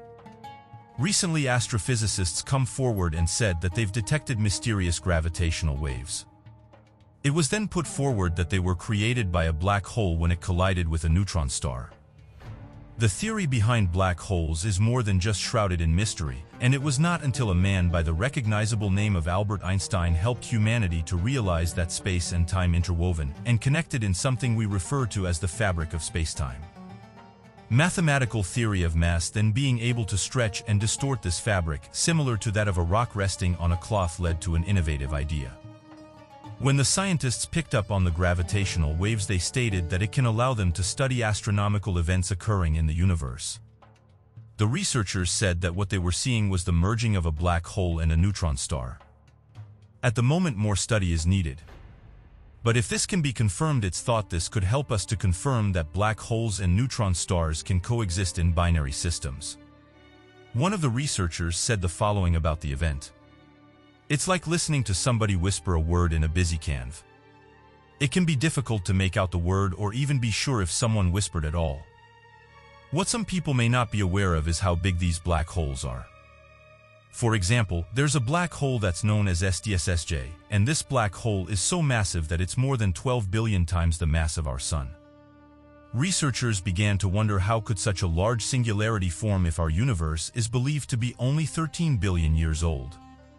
Today, the black hole continues to be one of the largest, youngest black holes out in space, and it's believed to be even larger in nature if we were to visit it. It would be another 13 billion years before any information could catch up and show us its true size. This black hole, however, is incredibly far away. One light year is around 5.8 trillion miles or 9.5 trillion kilometers. So it's fair to say we won't be able to get near it anytime soon. NASA's Hubble Space Telescope has detected a supermassive black hole that has made researchers question current theories of the universe. This new report states this black hole is approximately 250 million times heavier than our Sun and can be found at the center of the spiral galaxy NGC 3147 and is said to be over 140 million light-years away from Earth. Incredibly, scientists have been able to observe a large accretion disk moving around the edge. What's confused scientists, however, is based on what we currently know about black holes. Such a disk shouldn't be found so close to a black hole of this size. One of the researchers said the following about the discovery. We thought this was the best candidate to confirm that below certain luminosities, the accretion disk doesn't exist anymore. What we saw was something completely unexpected. We found gas in motion producing features we can explain only as being produced by material rotating in a very thin disk and that this disk is very close to the black hole. This discovery was published in the monthly notices of the Royal Astronomical Society. Lead author Stefano Bianchi went on to say the following, the predictions of current models of gas dynamics in very faint active galaxies clearly failed. The disk will give scientists the opportunity to test Albert Einstein's theory of relativity. The collision between the black hole and the neutron star was picked up in August, and scientists observing gravitational waves may have reached a huge milestone. On the 14th of August 2019, giant detectors in the US and Italy picked up on gravitational waves, and these were set off when a black hole and a neutron star collided around 900 researchers have seen a lot of merger of black holes and neutron stars, but never with each other. This could provide some insight to neutron stars, which is made up of the densest matter in the cosmos. This observation was made by LIGO and Virgo near Pisa, Italy, which holds around 400 scientists. Gravitational waves are generated when really massive objects collide with each other. To measure these waves, scientists made and developed a huge L-shaped optical instrument called interferometers. Interferometers have arms that are several kilometers long. Gravitational waves were first detected in 2015 when LIGO researchers witnessed a collision between two massive black holes which were dozens of times bigger than the Sun. Black holes are purely made up of gravitational waves that are generated when a star collapses. In 2017 merge of between two neutrons were detected. These were gigantic nuclei atom left behind by the star that are too small to make a black hole. Now recently the merge of between a black hole and a nuclei have been detected. A black hole shredding a neutron would reveal how stiff neutral matter is. It would be a great help in knowing the structure of neutron stars. Although theorists are not sure how frequent the merger between a black hole and a neutron star occurs or how they form, researchers show that they're more likely to form if traveling in a fixed path from colliding, rather than randomly wandering here and there and somehow finding each other. The recently new signal was particularly strong and the detectors were able to pinpoint the location in the sky. This shows how much these detectors have improved and can work efficiently. As there is no optical counterpart present, the identification of the objects depends entirely on their masses, which the researchers find through gravitational waves. Many scientists have argued and are debating on the mass of a neutron. Many have agreed that a neutron cannot exceed the weight of 2.2 solar masses. If the astronomers are not able to find an optical counterpart, then LIGO and Virgo researchers have to rely on gravitational waves to determine the nature of the colliding objects. It's challenging but researchers are excited and on the verge of a scientific breakthrough. As of right now, scientists are carrying out more tests. Scientists have said that there's unending discoveries waiting to be made out in the universe, and every year we learn something new. Most of these discoveries aren't fully understood. But the world's best scientists and researchers have done a great job so far at unraveling some of the universe's greatest discoveries. One of the most fascinating things that makes the ocean quite mysterious for us humans is the fact that 95% of it is still unexplored. Despite the history of sailing going back centuries, we have still only been able to scratch the surface of the water world that accounts for more than 70% of the Earth's surface. We have been sailing on the surface of the ocean for centuries now, but we've only started discovering the depths of the ocean during the past couple of decades. That humans could not imagine reaching the depths of the ocean and had no idea what the oceanic floor looked like. Over the years, countless people have tried to brave the oceans and even in the modern day people on boats are still disappearing or washing up under mysterious circumstances. Some of these are so mysterious they've gone on to spawn various legends and tales. One of the most chilling is perhaps the Orang Medan. In June 1947, a Dutch ship named Orang Medan was sailing along the Straits of Malacca when it sent out a shocking signal indicating that the captain and the entire crew of the ship would end. After the first message, a number of random Morse code sequences were received that could not be deciphered. The last message was translated into two simple but shocking words, I die. The grim SOS message of the Orang Medan was picked up by Dutch and British listening posts situated near Malaysia and Sumatra. The listening posts worked together to find the location of the Orang Medan and alerted nearby ships. Silver Star, which was an American merchant ship, reached Orang Medan only to find the vessel in nearly perfect condition. Silver Star's crew members shouted Orang Medan, but they did not get any response. Finally, after shouting and waving for a long time, a search and rescue team was sent to Orang Medan. When the team stopped on the ship's deck, what they saw was something only to be seen in nightmares. The entire crew of the Orang Medan was lying dead. Their eyes were wide open with fear. Their mouths were wide open as if they were screaming when they died. And their arms were spread wide as if they were trying to stop someone. The captain of the ship was also found in the exact same position. All the crew members were present on their designated places and rooms on the ship. But they were all dead and their faces had the same horrific expression. As the crew members of the American ship were exploring the Orang Medan, it started sinking and the rescuers had to leave the ship along with its dead bodies in order to save their lives. Some reports claim that the Orang Medan exploded after a while due to the explosives placed on the ship. Regardless, the unlucky ship sank to the bottom of the ocean along with the remains of its captain and crew. What happened at the Orang Medan remains one of the biggest oceanic mysteries. Some researchers have claimed that the crew members died due to the release of carbon monoxide on the gym, and the subsequent explosion was also a result of the gas, while other theories hold pirates responsible for the horrific tragedy. There is no record or evidence that could support either of the theory, and the Orang Medan is likely to remain a mystery forever. When standing on the shores of beaches from around the world, encounters with ghost ships have left many wondering if darker forces are responsible for the terrible face of those who have gone missing at sea. Some of these encounters include claims of seeing apparitions in the distance, seemingly floating in the sky, an effect known as atmospheric refraction that has led many to not understand the nature of the horizon. Others, however, have reported sightings impossible to explain with scientific means such as the encounters seen on the shores of Chesapeake Bay. Though there are a collection of rumors and myths surrounding the area regarding potential hidden and buried treasures, locals have also claimed that if someone stays there for a prolonged period of time, they will begin to notice a large ghostly image of the port beginning to manifest. This has led many to have reported spotting ghostly ships out past the harbor, and rumors of getting near the ship have spread further legends of wedding spirits inhabiting them. It does appear, however, that such claims of ghost ships manifesting as large ships coming close to the shores have arisen in many different areas around the world, and are not just described as ships with completely abandoned crews, but rather as large glowing spirits that take on the form of bones and the wailing undead that inhabit them. Back on the 11th of October in 1771, a whaling crew had come across what they believed to be a ghost ship sailing nearby. The crew sailed closer to the ship and noticed a strange sight. The ship appeared to have been completely iced over, with its sails torn and icicles protruding from every direction of the jimp. This led to the captain of the whaling ship to order a boarding party to journey onto the jimp and to assess the situation of what had occurred. It was at this point that the waiting crew became incredibly frightened.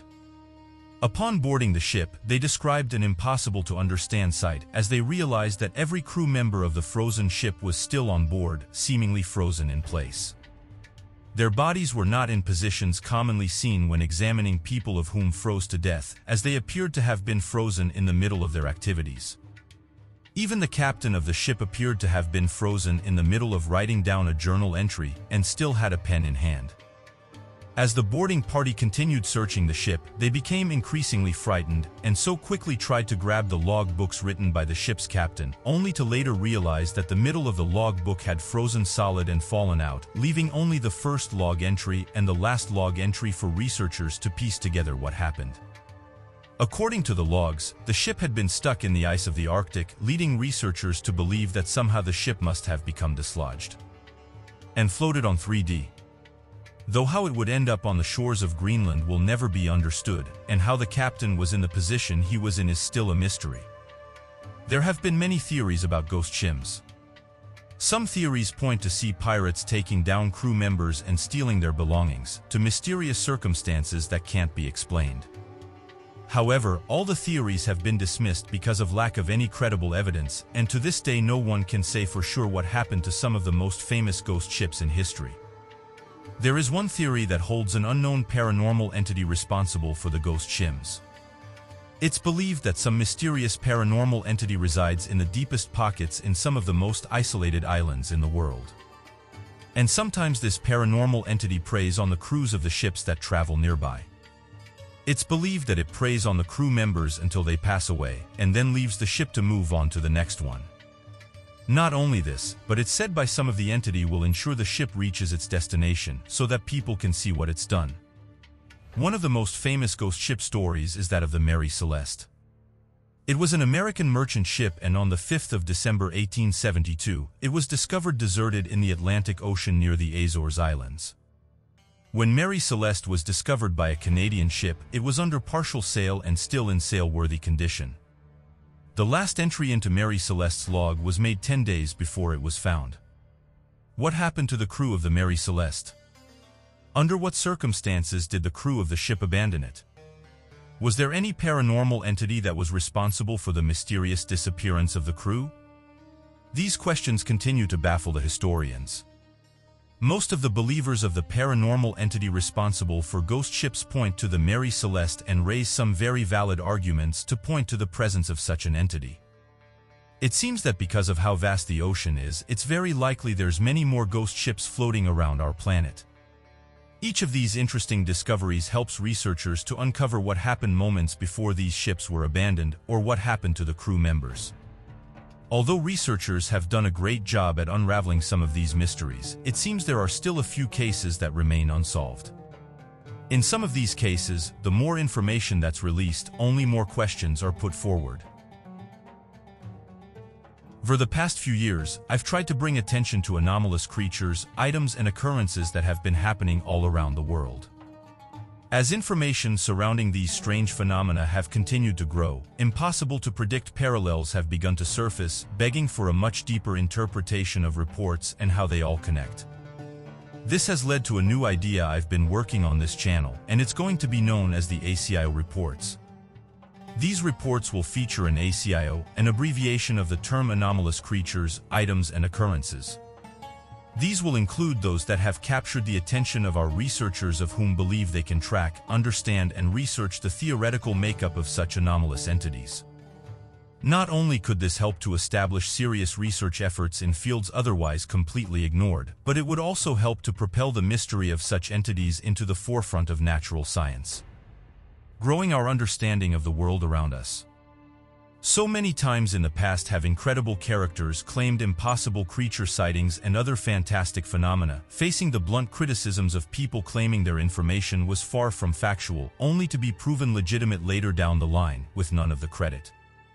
An example of such a report was made surrounding an elusive creature known as the African unicorn, of which would later become a proven species now known as the okapi, that many researchers have denied the existence to within the Congo. Another example is the existence of the ether, proved by Nikola Tesla with his advancements in radio wave technology, only to have the name be recognized as the electromagnetic spectrum despite Nikola Tesla naming it the ether, for its ether properties and ancient magic references. An effort made to delegitimize his claims of mysticism. So today, our first ACIO report will center around Organism 46b. For information surrounding Organism 46b can be discussed. The environmental context to the investigation must be thoroughly identified. The ports of Organism 46b area of habitation rest within that of Lake Vostok, located more than 700 feet beneath the glacial surface of the ice at its shallowest region and roughly 2,600 feet at its deepest region. It's at this depth that the ice from the Antarctic glaciers are under enough pressure to melt and form deep lakes. It's within one of these deep lakes known as Lake Vostok that the creature known as a supposedly leaked documents surrounding the first attempts made by Russian researchers back on the 5th of February in 2012, while drilling to the lake's surface made reference to the creature known as Organism 46b. The report itself was titled Organism 46b and detailed an incredibly bizarre story in which Russian researchers claimed to have encountered a massive colossal squint and that this creature resided in the lake and could release toxins into the water. Could squeeze itself down into small sizes, take on weird shapes, change its physical colors and could cause a mild form of hypnotism. This was if a person began to stare at the creature for too long, here are quotes from the supposed letter written by a man named Dr. Anton Padalka. We encountered organism 46b on our first day. It disabled our radio which we later learned to our alarm was intentional. It's also able to paralyze prey from a distance of up to 150 feet by releasing its venom into the water. Tragically, my colleague and lifelong friend was killed this way. He treaded water wearing a blissful smile as the organism approached him. We watched helplessly as it used its arms to tear off its head then popped its remains into its mouth. It was as if it hypnotized him telepathically. It shaped itself into the form of a human diver. We thought it was one of our colleagues swimming towards us in scuba gear. By the time the closest scientist had realized what it was, it grabbed him and tore him to bits. Some variations of the legend claim that one of the tentacles of the creature had been chopped off, but that the severed tentacle later reanimated and strangled another member of the team. The legend ends claiming there are few surviving members of the expedition and that Russian officials captured the creature and tried to cover it up. Facts-checking the story leads to a number of strange dead ends that come about in eras of documented factual events that otherwise should have been explored. Below is the complete timeline of the factual events of the Lake Vostok drilling expedition. Back in January of 2011, Russian scientists published a paper titled Vostok Subglacial Lake, Details of Russian Plans Activities for Drilling and Sampling.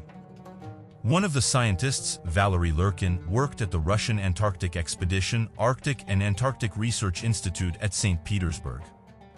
The document detailed the first and only public plan for a Russian expedition into Lake Vostok. Below is a portion from the introduction of the paper surrounding the expedition. The Russian Federation has developed a national project involving the drilling and sampling of Vostok's subglacial lake, East Antarctica. The objective is to explore this extreme arty environment using a variety of techniques to identify the forms and level of life that exists there. The project is funded by the Russian Federal Service Roshydromet. During the time of the published paper, the Russian Federation had yet to receive support from other nations of the world, as their borehole efforts were actively going against the Antarctic Treaty. With the United Kingdom and the United States petitioning the Russian Federation against borehole techniques due to environmental impact of the sealed lake. The opposition was due in part to the drilling techniques used by the Russian scientists, of which included the massive use of freon and kerosene. This was to act as a lubricant for the drilling equipment, of which would immediately drain into the lake at the point of connection. Despite the Antarctic Treaty violation, the Russian Federation continued with their efforts. Within the published paper titled Vostok Subglacial Lake Details of Russian Plans Activities for Drilling and Sampling, the scientists detailed a new piece of technology that would allow the borehole to use a transportation module that could be sent down into the borehole via new mechanisms and enter into their lake. A diagram for the technology claims that the module device in the borehole would only be 123 millimeters in diameter and impossible to send a diver into. However, given the secrecy of the project and the design used, such a technology could have been sealed up to send a research team into the borehole if made slightly larger. The technology also shows evidence of human-sized transportation modules.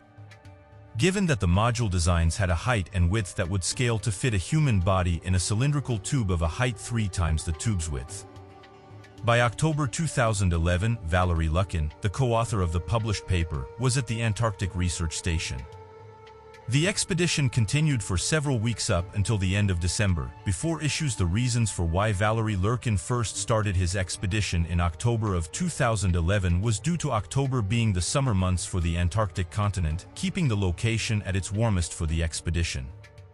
The summer months only lasted from the beginning of October to February. However, after the 6th of February, the expedition must have been called off due to temperatures plummeting below 40 degrees Celsius. On the 20th of December, the Russian team claimed they had less than 5 meters left to drill before striking into the lake and were confident they were to meet their goal before the end of the Antarctic summer months. It was shortly after this transmission, however, that the team would undergo a six-day radio silence, and this was for reasons not entirely understood. The encounter with the organism 46B led to the reported deaths of several top-secret Russian researchers. And so many believe this is why the document could have been leaked as a warning to other researchers in the area. Despite the far-fetched abilities of organism 46b, reports appear to match the number of known cases of squid and octopus entities in the real world. In fact, every single ability mentioned by the letters the organism 46b might possess appear to match many of the abilities found in deep-sea species of cephalopods and environments that would be similar to in light pressure and water quality to organism 46b. Below is a detailed writing surrounding the theoretical ability of telepathic traits within organism 46b and how the ability could be scientifically explained. Understanding the creature's ability to perform telepathic ability is both difficult and nearly impossible, as the mechanisms for telepathy are still not entirely understood in the modern day. However, assumptions and data information surrounding numerous marine animals can be made as to what might be responsible for telepathic abilities in organism 46b. It's important to note there is evidence and scientific endeavors in the realm of neuroscience, and the ability to translate the neuron's near-random electrical pulses, throids into readable information that can be displayed or understood. In fact, back in 1999, there was a research study by Dan Young at the University of Berkeley, California that successfully recreated what a cat observes in the physical world. This was done using pure data retrieved from visual neurons. The implications of this finding means that if someone could create a technology so sensitive and accurate in picking up electromagnetic fields or electrical stimuli one could remotely detect these occurrences coming from the human brain and work to gather the data required to translate your thoughts and brain signals into readable information. If we take this theory of data retrieval from the brains of animals by sensing electrical impulses and changes in the electromagnetic field, then there is evidence of evolution granting this ability amongst life here on Earth. Given the fact that organism 46b is expected to live its entire life in a completely dark underwater environment, it's possible that the species could have evolved a complex form of electroreception for its survival. Squids are one of the very few species in the world that can camouflage and change the pigments of their skin so rapidly they can make a variety of colors. Additionally, the glass squid species is capable of using bioluminescence in a deep-sea environment. This is to stun fish and seemingly hypnotize them to be consumed. Given the depth and lack of light deep within the underground Lake Vostok, it's of a high probability that if large marine animals were to exist within the trapped lake, they would also possess evolutionary abilities to generate bioluminescence. Bioluminescence tied with a squid's ability to alter the color of their pigments of their skin could create scissor-inducing colors and shapes that could temporarily cause an individual to become hypnotized or undergo a seizure if looking directly at the creature. This could explain the hypnotic effects as reported in the leaked documents surrounding the creature. Given the lack of bones or large deposits of cartilage within an octopus, the species is capable of squeezing through small openings and shrinking their body down to impossible sizes. In fact, a 600-pound octopus is capable of pushing through its entire body through a hole the size of a coin, as long as an opening is large enough to allow the creature to fit its beak through. It would travel through the opening with relative ease. It's for this reason that the claim of a shape-shifting abilities of organism 46b are realistic to the species. Additionally, a borehole the size of 123 millimeters would have been more than enough of a size to fit its body through if it was to make an attempt to reach the surface of the glacier. If the claims surrounding organism 46b are to be believed, the creature has the following abilities that have allowed it to take down individuals with an incredibly short span of time. Shapeshifting, hypnosis, camouflage, colossal size, ability to shrink, telepathy and large quantities of toxin. Given its danger and efforts needed to be contained by the Russian Federation as claimed by the leaked document, this could very well mean that Organism 46b is one of the most dangerous creatures naturally living on planet Earth. Its ability to be weaponized for future efforts also seems to be a very real possibility given the claims of the leaked document and other rumors that have surfaced surrounding the creature. For these reasons, Organism 46b has been given a red status. Over the years, many people have made some interesting discoveries, with the majority of these being easily explained. However, every so often there is a discovery that doesn't get explained right away. This is what happened when hundreds of ancient skeletons were discovered inside this lake. Going back in 1942, a British forest god in India made a worrying discovery. While exploring a region tens of thousands of feet above sea level, they came across a small lake and so decided to take a closer look. The weather for this time of year was different in the fact that ice had melted, and it soon revealed what it had been hiding. Inside the lake was hundreds of ancient bodies, and one thing that was obvious is that something horrid had happened. Due to the time of year, one of the first things that was put forward was that these people could have been involved in the war or were victims that were placed here. And that someone was perhaps trying to cover up activities that had happened in the area. What threw many people off though is why someone would go through the effort of placing people inside this lake. After all, it's located around 16,000 feet above sea level.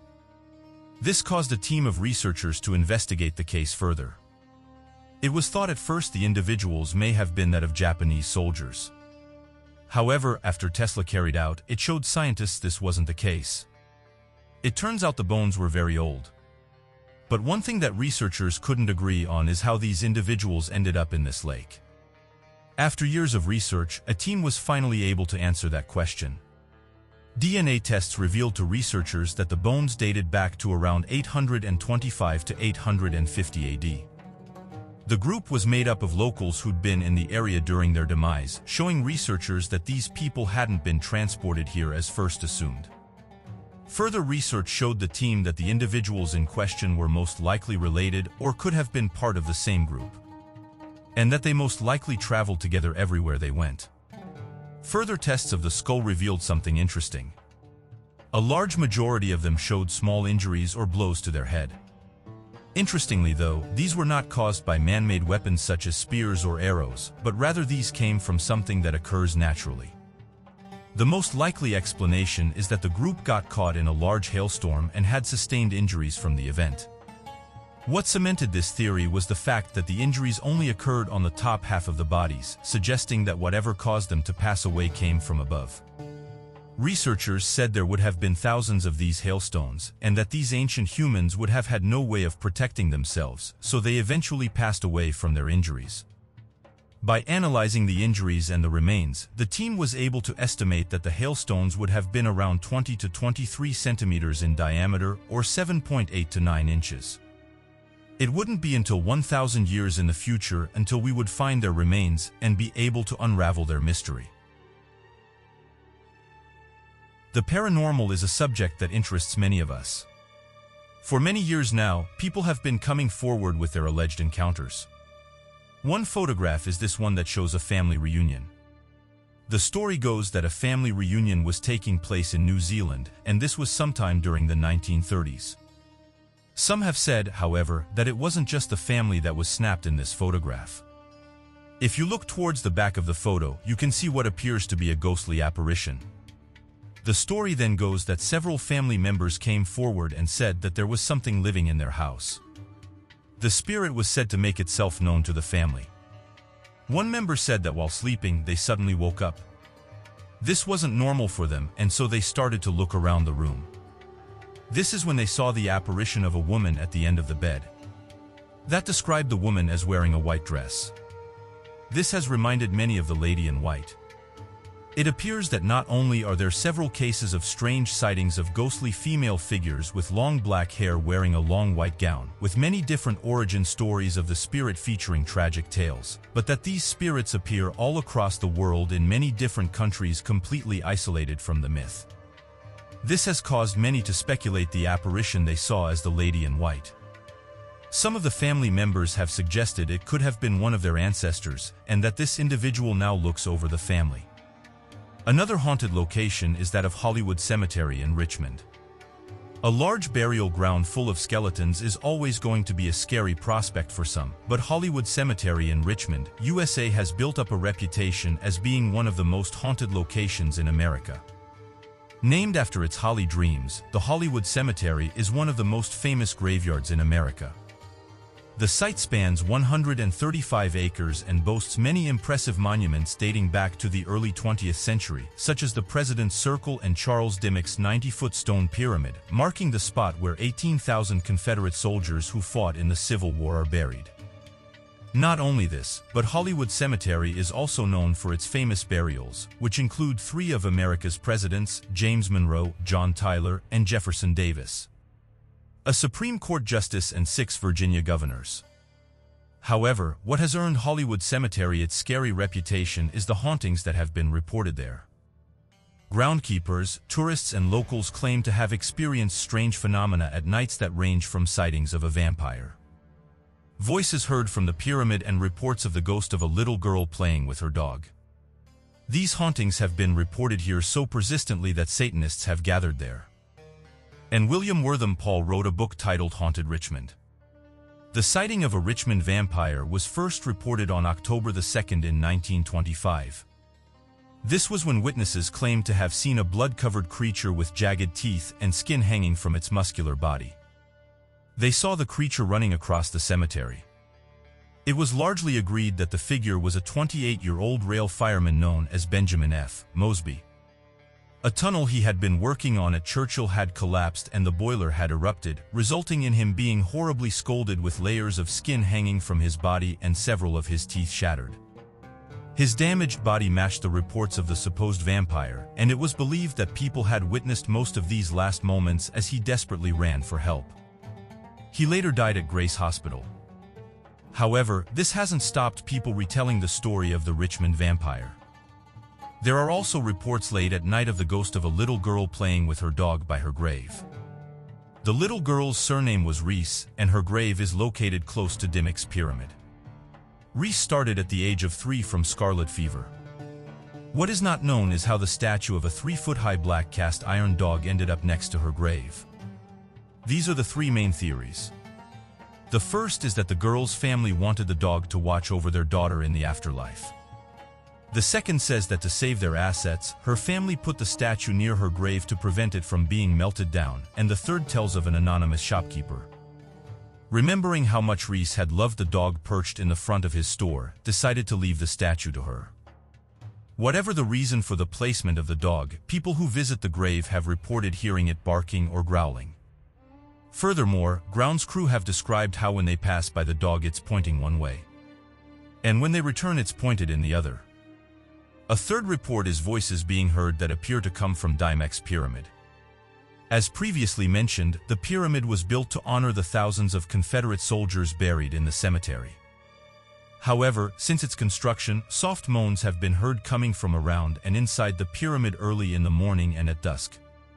People have also reported coming into contact with cold spots at various corners of the pyramid. This has led some to conclude that all the noises are coming from all the unidentified soldiers who rest their spirits trapped in the pyramid. Another theory is that these voices come from the workers who lost their lives when the Church Hill Tunnel collapsed. While record-keeping on the crew wasn't detailed, at least one or two of the 200 or so laborers inside were buried alive. Attempts to recover the bodies were quickly abandoned and they remain buried inside the tunnel. Another mysterious location is that of Squires Castle. Squire Castle is known to be one of Cleveland's most picturesque locations. Sitting grandly in Willoughby Hills, the views from the castle are beautiful. Its front yard is a huge grassy field and its backyard is a mountainous incline. But it's not just the brilliant views that draws the thousands of visitors each year. It's also the reports that Squire's Castle is haunted. Interestingly, Squire's Castle was never meant to be a castle. The wealthy and recluse, Fergus B. Squire, was vice president and general manager of the Standard Oil Company. He decided to build a 525-acre residential compound called the River Farm estate, and it was to be accompanied by himself and his wife, Rebecca. Squire's Castle was actually intended to be the residence for gatekeeper of the River Farm estate, which was never built. It's believed Squire gave up on the construction project because his wife Rebecca hated the idea of living in the country. Squire sold the property to a private developer and relocated to Wickliffe, where he built the massive estate of Cobblestone Garth. Before moving, Squire and his family used the castle as a weekend retreat. Though only intended for a gatekeeper, the place still boasted several bedrooms, living areas, a large kitchen, and a library. It was at this location in 1920 that some believe Squire's wife lost her life. The story goes that Rebecca woke one night during a storm and went downstairs to investigate. The lightning from the storm illuminated the stuffed heads of animals in the library, which shocked her so much she fell down the stairs and broke her neck. Many have dismissed this as completely fictitious and point toward Mrs. Squire's death certificate, which shows she died of a stroke five years after the castle property was owned. But there are reports of red lights at night within the castle grounds, which some believe is Rebecca's ghost holding on to a red lantern as she roams around the halls and rooms of the castle she so hated. Last place is that of Leap Castle. Long regarded as one of Ireland's most haunted destinations, Leap Castle has been featured on a number of ghost hunting and paranormal shows. The property is located in Coolderry and Blossa's historical bloodshed, as families have been divided fighting over the true ownership of the castle. The castle was first constructed by the O'Bannon clan in the 12th century. It was originally known as Leap of the because the castle was built by the two O'Bannon brothers, contesting the chieftainship of their family, decided to challenge each other to leap from a rock. The agreement was that the sole survivor would not only govern the family, but also be responsible for the castle's construction. As can be seen, the castle was built on a foundational bloodshed. The O'Bannons did not manage to rule Leap Castle for long. As a family, they were subservient to the O'Carroll clan, who soon seized the property. The O'Carroll clan had a reputation of being ruthless and fueled by greed and power, so when the chief of the family died without specifically naming which one of his sons wanted to be a successor, Leap Castle was once again the site of a brotherly feud. The story goes that his brother killed Thaddeus while he was in the middle of saying a mass in the castle's chapel. The chapel became known as the Bloody Chapel, and it's said that you can still see Thaddeus' spirit roaming around it later in the night. Under the O'Carrolls, Leap Castle reportedly became home to many massacres. During renovations of the castle in the 1990s, a secret dungeon was discovered that contained human skeletons and wooden spikes. It's believed the O'Carrolls would have used the wooden spikes as a method of surprise attack for unsuspecting visitors to the castle. One of their most wicked crimes was towards the McMahon family. The McMahon family were invited to a dinner to celebrate their victory over a rival clan of the O'Carrolls. However, rather than thank the McMahons, the O'Carrolls poisoned them. Alongside Thaddeus Spirit, the McMahon family are also said to haunt the grounds of Leap Castle. The castle again switched ownership in the 1600s and once again the process involved blood being spilled. It's said that a daughter of the reigning O'Carroll chief Stane fell in love with an English prisoner being kept in the castle's dungeon. This prisoner was Captain Darby and he prepared an escape plan from Leap Castle with the O'Carroll daughter. Their plan was interrupted when they ran into the girl's brother on the stairwell. What ensued was a sword fight between Darby and the O'Carroll brother, and Darby was the victor. What's more, on the death of the O'Carroll brother, Leap Castle passed to the O'Carroll daughter and Darby. The two married and set home in the castle. As a captain of war, Darby had amassed his own treasures and began to hide these objects throughout the castle. Losing his grip on sanity, he forgot where he'd hidden these treasures and searched for them. It's said that today this mad captain's spirit still wanders around Leap Castle, desperately seeking his treasures. Jonathan Charles Darby was a descendant of Captain Darby and resides in the castle with his wife Mildred Darby. Mildred was a writer who underwent the pseudonym of Andrew Merry and wrote many Gothic stories. It's believed the inspiration of her scary stories was from her own experience living at Leap Castle. In her personal letters she writes of explaining a supernatural entity she refers to as IND, the thing and the elemental. She writes of feeling a hound on her shoulder and turning around to see a gaunched shadow and inhuman being. This being smelt like a decomposing corpse and immediately caused a deadly nausea to Mildred. Alongside it, there have been many sightings of a red lady walking the halls holding a dagger. The story behind her dates back to when the O'Carrolls held Leap Castle. She was thought to have been a prisoner who was used by the O'Carrolls. When she became pregnant and gave birth to her baby, her child was murdered with a dagger. Unable to cope with the loss of her child, the lady in Midi grabbed the dagger and took her life. Her spirit now roams Leap Castle looking for the men who killed her child. The current residents of Leap Castle are Sean Ryan and his wife, Anne. Sean himself admits to hearing footsteps, doors opening and closing and crowds talking. Strangely though, rather than reacting in fear, he has no issue with living alongside the spirit, who he believes have just as much of a right to be there as he does. That doesn't stop a lot of locals still refusing to walk past the castle at night. Month of August 1972 will forever be an unforgettable month in the history book of the National Aeronautics and Space Administration. It would have been a disastrous month if the astronauts' mission was changed. This event occurred in the month of August 1972. The Sun has different regions and astronauts have labeled these regions for easy identification.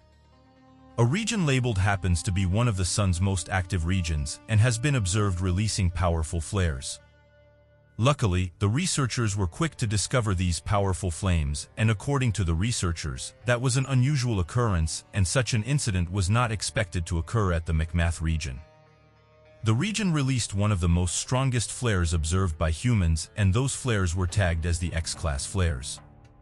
All these were reported to have happened on the 2nd of August in the year of 1972.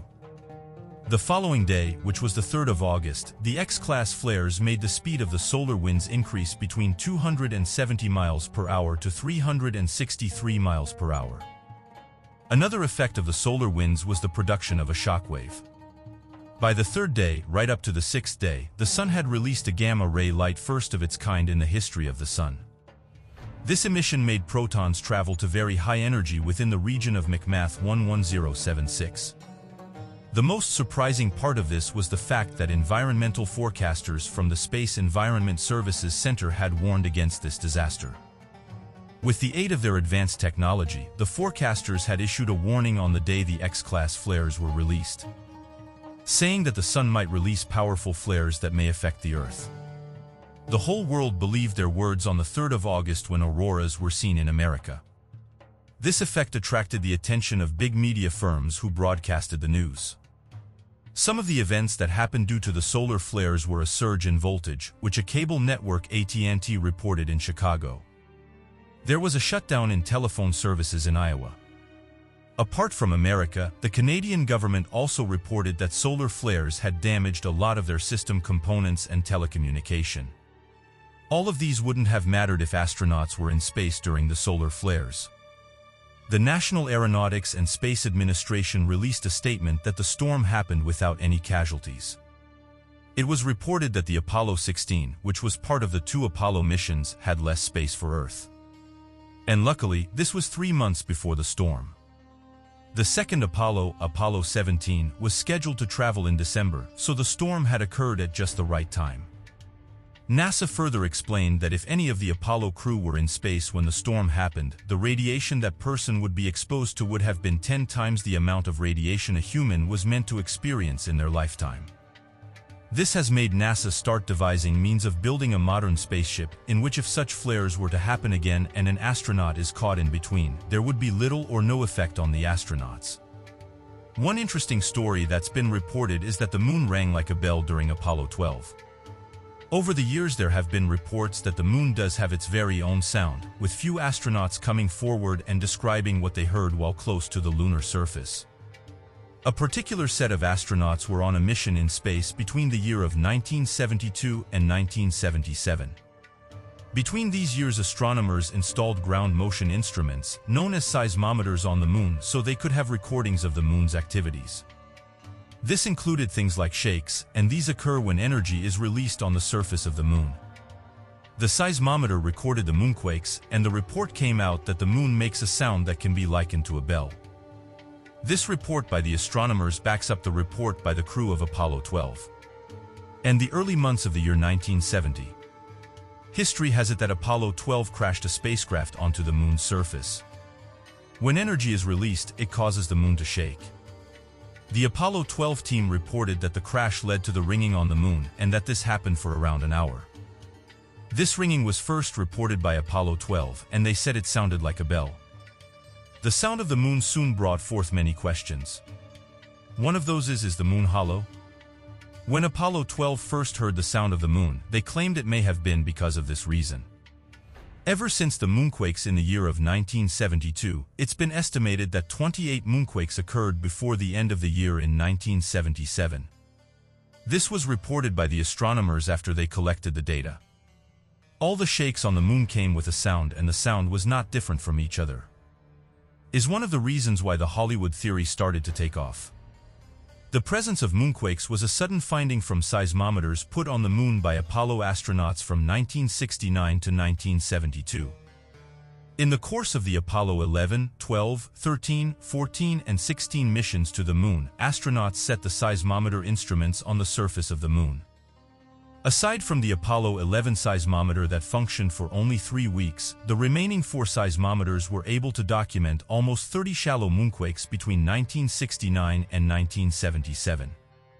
The quakes on the moon fluctuate between 2 and 5, meaning that it's between very minor to moderate. These instruments worked perfectly until they were turned off in 1977. Four categories of moonquakes were recorded by the instruments and they are as follows which are as a result of Earth's gravitational tug on the Moon's interior, around 434 to 700 kilometers from the surface, which is similar to how the water on the Earth brings about tides due to the Moon's gravitational pull. Meteorite impact on the Moon thermal moonquakes caused by the expansion of the Moon's fragile crust after it experiences sunlight after two weeks of the lunar night. Shadow moonquakes occur between 50 to 220 kilometers or 31 to 155 miles beneath the moon's surface.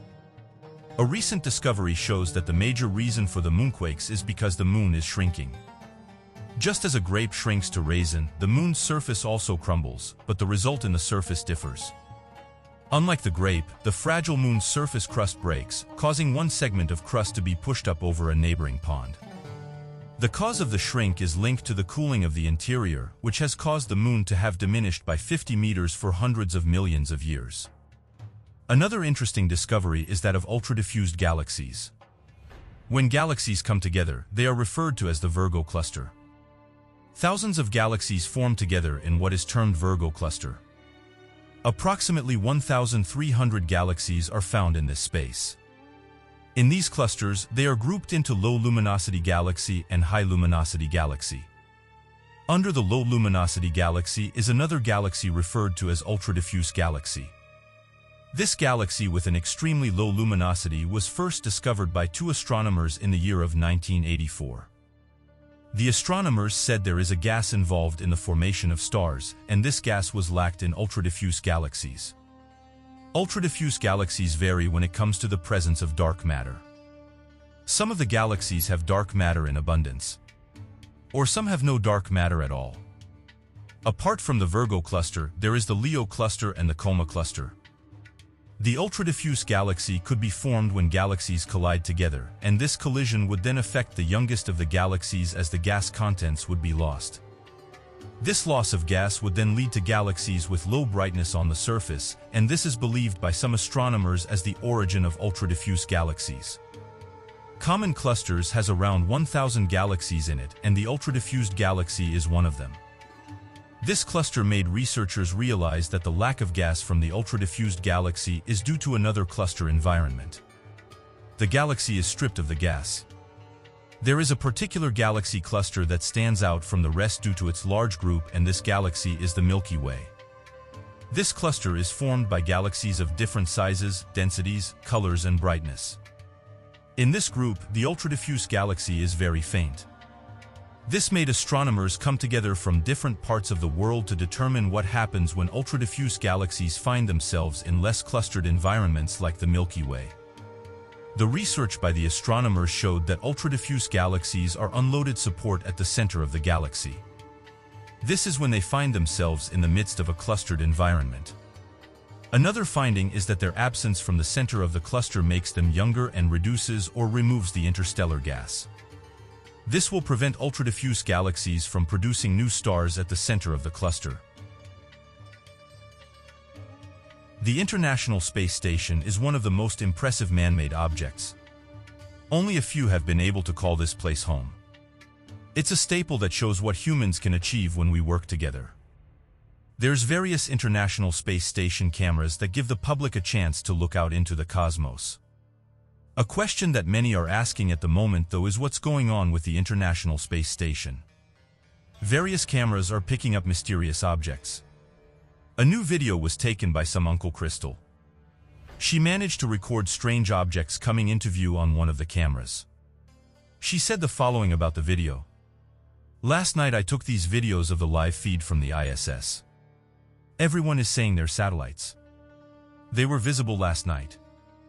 However, they are seen in a straight line with some distance between them. This is looking past the Earth, but you can see some weird flashes of light in the center of the screen. This is why I started recording. There's a huge cluster of objects that start to come down the screen in some kind of formation. I may not know exactly what this is, but I do know that I saw something life-changing. Interestingly, it's not just Crystal that captured these mysterious objects. Various people have been posting videos and images of these strange anomalies. In some cases, they can be seen moving at incredible speeds, while others show them holding a tight formation. As of right now, NASA have said these objects can be explained as processing anomalies or in some cases, space debris. Nothing can be faster than the speed of light.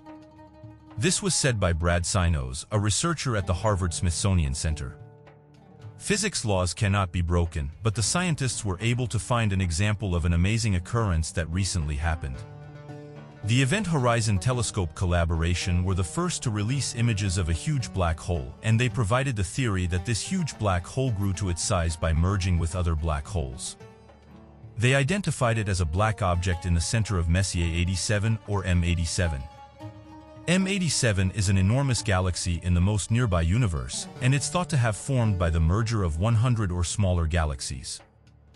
Its mass is believed to be around 6.5 billion times that of our Sun's, and is 100 light-years ahead of Earth.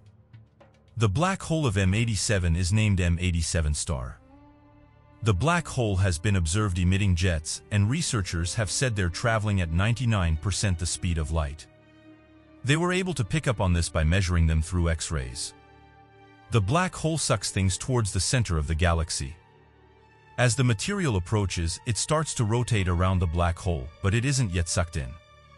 Only small amounts of material falls in whilst the rest is ejected back into space. The ejected material takes the form of a jet that follows magnetic field lines. The jets are like clumps and knots traveling through space, and two of these knots have been tracked for years, with images and the data showing us how fast they're traveling, and is something that surprised the researchers when first looking through the data. One of them is traveling at 6.3 times the speed of light, while the other one is traveling at 2.4 times the speed of light. This is pretty much peak speed when it comes to anything in the universe. The knots are following the superluminal motion, it comprises of the speed of light on the path of travel relative to our sight. When the knots travel at the speed of light and are close to our sight, they cause illusions that are known as superluminal motion. The illusions were obviously the jets having more speed than the speed of light. The faster-moving Natel jet faded by more than 70% from 2012 to 2017, and the scientists have said the cause is radiations produced as it sprawls causing it to lose energy. The fading only happened in the X-ray, but not the optical or UV. This phenomenon is called synchrotron cooling. It means that scientists were not observing waves, but particles of the jets in the X-ray. Event Horizon Telescope collaboration and Chandra data provide authenticity and support for each other. They act as the proof of each other's data. Although in Chandra's data, the jets were ejected hundreds or even thousands of years earlier. Its image was also 100 million times bigger than what the Event Horizon Telescope collaboration had imagined. The scientists were able to prove that the laws of physics cannot be broken and even the jet speeds cannot exceed the speed of light. Going back in August, scientists detected what they think was a collision between a black hole and a neutron star. Scientists observing gravitational waves may have reached a huge milestone. On the 14th of August 2019, giant detectors in the US and Italy picked up on gravitational waves and these were set off when a black hole and a neutron star collided around 900 million light-years away. The researchers have seen a lot of merger of black holes and neutron stars. But never with each other. This could provide some insight to neutron stars which is made up of the densest matter in the cosmos. This observation was made by LIGO and Virgo near Pisa in Italy which holds around 400 scientists. Gravitational waves are generated when really massive objects collide with each other. To measure these waves, scientists made and developed a huge L-shaped optical instrument called interferometers. Interferometers have arms that are several kilometers long. Gravitational waves were first detected in 2015 when LIGO researchers witnessed a collision between two massive black holes, which were a dozen times bigger than our Sun. Black holes are purely made up of gravitational waves that are generated when a star collapses. In 2017, merger between two neutrons was detected. These were gigantic nuclei atoms, left behind by the star that are too small to make a black hole. Now recently the merger between a black hole and a nuclei have been detected. A black hole shredding a neutron would reveal how stiff neutron matter is. It would be a great help in knowing the structure of neutron stars. Although the theorists are not sure how frequent the merger between a black hole and a neutron star occurs or how they form. Researchers show they are more likely to form if traveling in a fixed path and colliding, rather than randomly wandering here and there and somewhere finding each other. The recent new signal was particularly strong and the detectors were able to pinpoint the location in the sky. This shows how much the detectors have improved and can work efficiently. As there is no optical counterpart present, the identification of the objects depend entirely on their masses, which the researchers find through gravitational waves. Many scientists have argued and are debating on the mass of a neutron. Many have agreed that a neutron cannot exceed the weight of 2.2 solar masses. If the astronomers are not able to find an optical counterpart, then LIGO and Virgo researchers have to rely on gravitational waves to determine the nature of the colliding objects. It's challenging, but the researchers are excited. And on the verge of a scientific breakthrough. It's reported that gamma-ray bursts emitted the brightest and most energetic light in the universe. Gamma-ray bursts are extremely energetic explosions and the researchers have observed them in distant galaxies. They are the brightest electromagnetic bursts that occur in the universe. The bursts can be for a short period of time or a long one. They can be as short as milliseconds and as long as several hours. After the gamma-ray bursts, it's often followed by an afterglow which stays for a longer period of time. The most intense radiation of gamma bursts is thought to be emitted when a high-mass star explodes to form a neutron star or a black hole. When binary neutron stars merge, they let out short bursts of gamma-ray bursts. Most gamma-ray bursts occur billions of light-years away from Earth. This shows how extremely energetic they are, and they're also a rare occurrence too. All the recorded gamma-ray bursts have occurred outside the Milky Way, and it's theorized that if a gamma-ray burst was to happen in the Milky Way, it would cause mass extinction. Gamma-ray bursts were first detected by Vela satellites, which had a different purpose in 1967. Vela satellites were designed to detect testing of nuclear weapons on the surface of the Earth. Following the discovery, many assumptions and conclusions were put forward for how these bursts were made, such as collisions of comets and stars. This information was verified in 1997 through detection of the first X-ray and optical afterglows. By using optical spectroscopy, multiple occurrence of gamma-ray bursts had been recorded. The most recent were in 2019. In November 2019, the gamma-ray bursts were detected which they deduced had the most energy. They also came to a conclusion that initial gamma-ray bursts is followed by low-fading emission at longer wavelengths. Early searches for this afterglow were not very successful as it is difficult to observe the gamma-ray bursts at longer wavelengths. They also came to a conclusion that initial bursts of gamma rays followed by low-fading emissions at longer wavelengths. Early searches for this afterglow were not very successful as it's difficult to observe the gamma ray bursts at longer wavelengths. The breakthrough came in 1997 when the satellite BeppoSAX was able to detect fading X-ray emissions through its X-ray camera. The light intensity of the gamma rays is extremely complex. Two gamma rays don't have the same light curves. If observed there is definitely a variation present there. It can be as small as milliseconds and as long as several minutes. Sometimes a weak burst is followed by more intense bursts. Some light curves are extremely complicated and complex. They are very hard to discern. Although some light curves can be simplified, there hasn't been much progress in that direction. Bursts with less than 2 seconds are named as short gamma-ray bursts. Around 30% of the bursts are short gamma-ray bursts, while the other 70% are long gamma-ray bursts. Until 2005, no afterglows were detected, though now there have been many records of short gamma-ray bursts afterglows. Most gamma-ray bursts have a duration of more than 2 seconds and are known as long gamma-ray bursts. They also tend to have the brightest afterglows or also observe the longest and in much more detail. Ultra-gamma ray bursts occur at the end of gamma ray bursts and have a duration for more than 1000 seconds. Only a handful have been identified up until now and are only identified by their gamma ray emission duration. The detection rate is not high due to the less sensitivity of the detectors to long-duration emissions. Due to long distances, the system that produces these explosions is hard to be identified. Many theories have been put forward, and the one that's been accepted is that rapidly rotating stars are collapsed into black stars in its final evolutions. Another explanation exists that says gamma-ray bursts cause optical illusions. These bursts are destructive and harmful to life, and its safest environment is outside of the Milky Way. Throughout history, there have been many events that the human race has witnessed. The first trip to the moon in July 1969 by Apollo 11 is perhaps one of the most impressive. This mission is credited as being the first mission in which humans landed and walked on the moon. From that moment on, there have been many more missions in regards to space, with NASA recently coming forward and saying that they hope to go back to the moon within the next few years. One of the most recent discoveries that researchers announced is that there's living creatures on the moon. Scientists have said that right now thousands of tiny creatures could be living on the moon.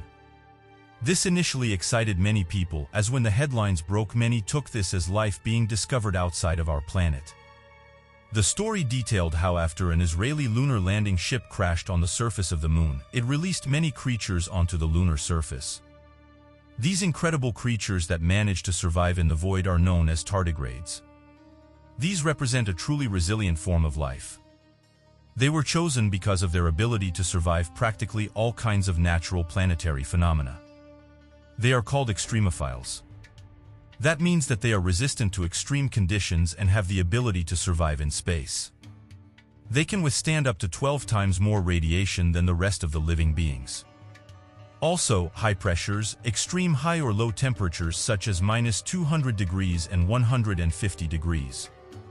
And the reason why they're believed to have survived the forced landing of the Israeli ship is because they have a prolonged dehydration capacity, which allows them to go even 10 years without consuming water.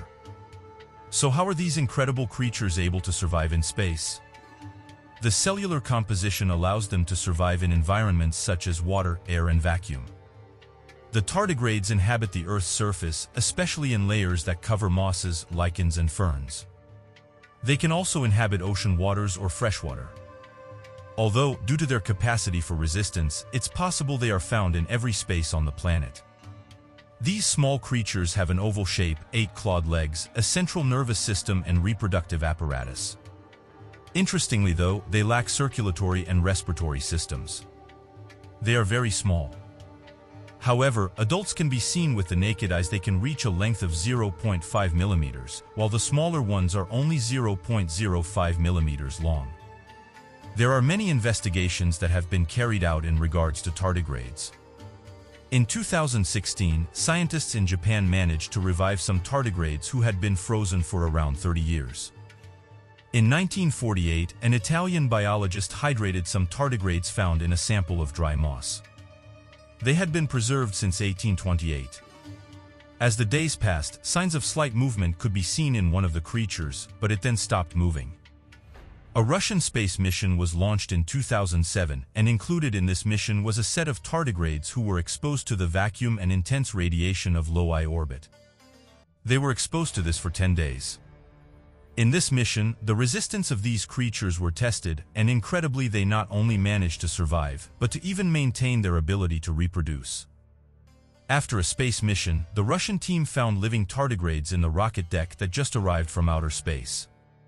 Finally, the scientists of the Israeli mission sent to the lunar territory assured that the tardigrades cannot move nor reproduce on the surface of the moon. But they can remain in a state of hibernation for 10 years, or at least until they are transported and rehydrated in order to wake up from the state of hibernation. Another thing researchers have said about our moon is that astronauts warmed up the moon. Since the first space missions to the moon many discoveries have been made, but there are more unanswered questions that arise when thinking about the lunar surface and the infinite mysteries it holds. One of these questions in the midst of the scientific community was the temperature of the moon and how this was influenced by the sun, which is why different lunar missions specifically in the years 1971 and 1972 installed these sensors in order to know the temperature and changes that could be recorded from that moment on. Surprisingly, the data showed an increase in temperature in the 1970s. The increase would be approximately 2 degrees Celsius. Up until now no precise explanation has been found as to why this is happening, but it is possible to determine that the warming was caused by the astronauts. In 2010 the original radio transmissions were obtained again.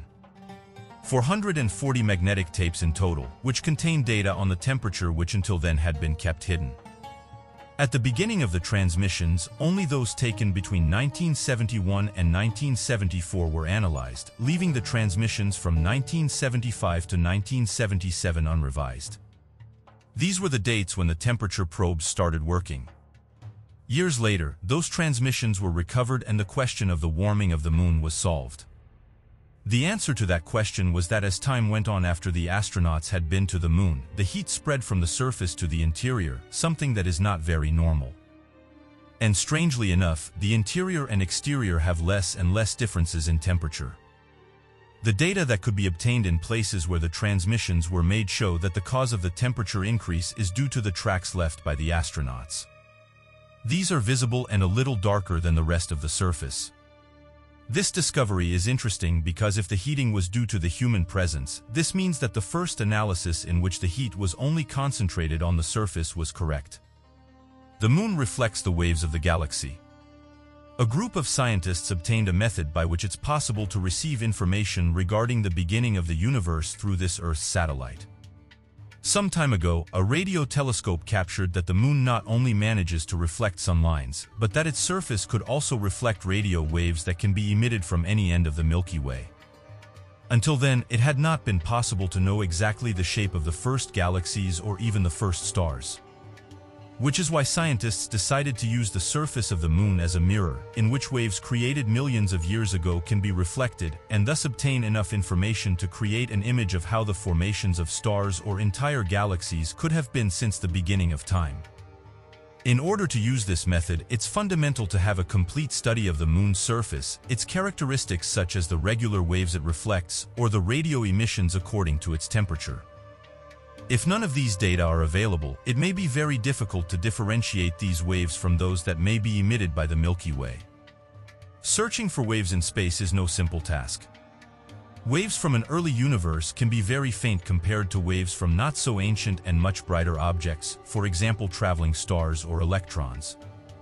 It's interesting that even this technique must take into account the brightness of the Earth.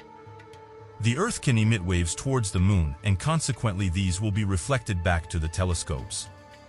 Therefore the signal will be contaminated with unnecessary information, so these waves have to be excluded from the analysis of information obtained by the radio telescope.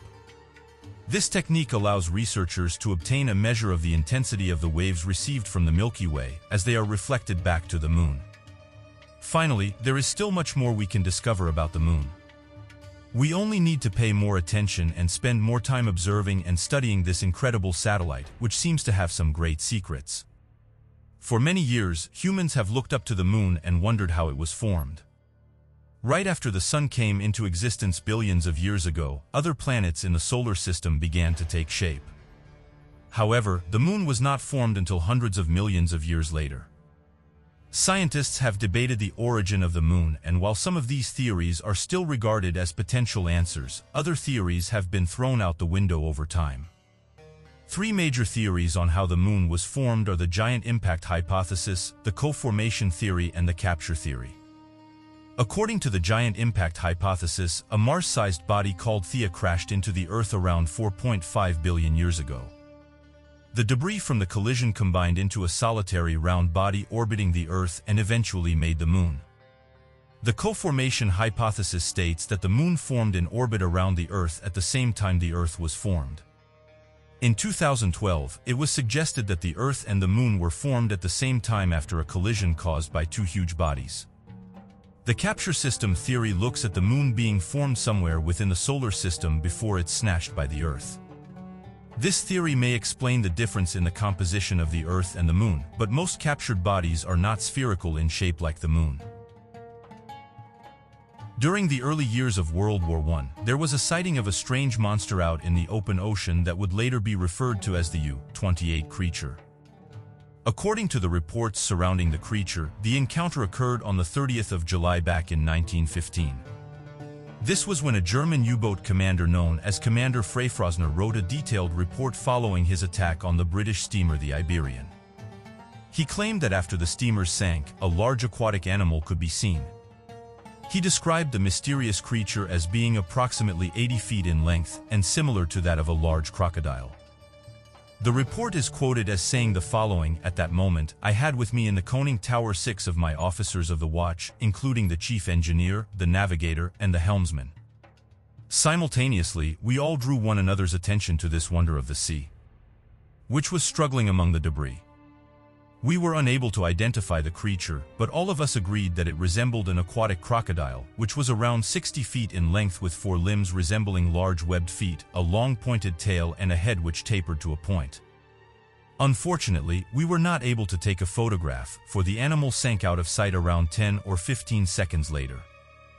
This caused many to speculate that perhaps ancient creatures have survived in the modern day. After all, this isn't the first account of a strange prehistoric creature, and although the reports are slightly different, a pattern does emerge when looking at all of them. Some have suggested the creature in question is that of a mosasaur, a creature that lived in our oceans during the same time as the dinosaurs. It would have been one of the top predators during its time. It grew to massive sizes and would have fed on pretty much anything it could get its jaws on. Interestingly, the U-28 creature and the mosasaur do have a lot in common. It's not far-fetched to say these ancient creatures could have survived the extinction event. In fact, various creatures have been discovered over the years that were thought to be extinct. These include creatures such as the coelacanth. This strange-looking fish was estimated to have gone extinct millions of years ago. However, every so often a diver would come forward and say that they have seen one in the ocean. This of course was immediately written off as the creature was known to have become extinct. But when more and more reports started to come in, researchers finally decided to investigate the claim. It turned out that when scientists put a team together to investigate the creatures, they not only found out they were real, but that they had been around since the time of the dinosaurs. Is examples like this why people don't rule out the possibility of prehistoric creatures still roaming our planet? Another interesting theory researchers have come forward with is that this creature was actually on board the Iberian. This theory states the boat had discovered the creature and wanted to bring it back to land for more study. However, as it was making its way back, it got into trouble with the German U-boats. When the U-28 eventually took down the Iberian, what the German crew has seen was the creature that was on board the British boat. There's been some arguments whether the event was recorded in logs. Modern reports state that it was never noted in any logs and the captain didn't see anything. However, other theories state the captain told the crew not to talk about what they had seen. With others saying that even if it was noted down, the evidence would have most likely been taken away immediately as any proof of cryptids or other life forms as usually covered up. As with most of these events, as time has gone on it's become harder to know the truth. One eyewitness who did see the event never talked about it openly, which some say proves that he did see the creature. He feared that if he did come forward with the information, he would have most likely been fired. As of today, the mystery behind the U-28 creature's story remains a mystery, and it's unlikely we'll never know what truly happened on that day. Another interesting ocean discovery was made a few years back. Going back in 2016, a strange and unexplainable deep-sea anomaly was discovered. Spotted using state-of-the-art satellite information, there appears to be a massive pyramid construction underwater that completely dwarfs the size of the pyramid seen at Giza. It appears the structure seems to be somewhere around 3.5 to 11 miles across and looks to be resting in a large area of underwater terrain in the Pacific Ocean. Many can view the mysterious structure using Google Earth satellite images, and this is done when looking at the coordinates 12 degrees north and 119 degrees west. The discovery of the object was made by a researcher located out of Argentina. He claims the structure could be evidence of the formation of ancient civilizations long before man was supposedly capable of roaming the planet and that at a different time in Earth's history could have experienced a change in tide that would allow the construction of this monstrosity.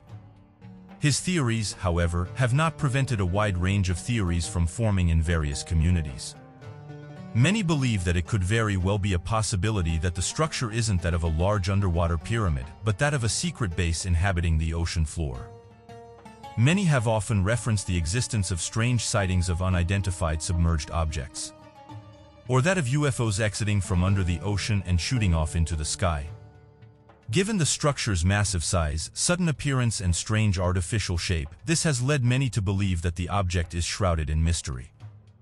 Interestingly enough, other researchers have picked up on the discovery. As of right now though, it's not entirely known what the object is, and although various theories have been put forward, no one can explain the true nature of this bizarre anomaly. Another mysterious creature is that of the Cadborosaurus. Cadborosaurus, also known as Caddy, is an alleged sea monster. The creature is said to inhabit British Columbia along with various other locations in North America. Those who have witnessed the creature describe it as a long serpent-like creature with large flippings. The head of the creature is debated, with some saying it has a camel-like head while others say it has more than ancient marine reptiles.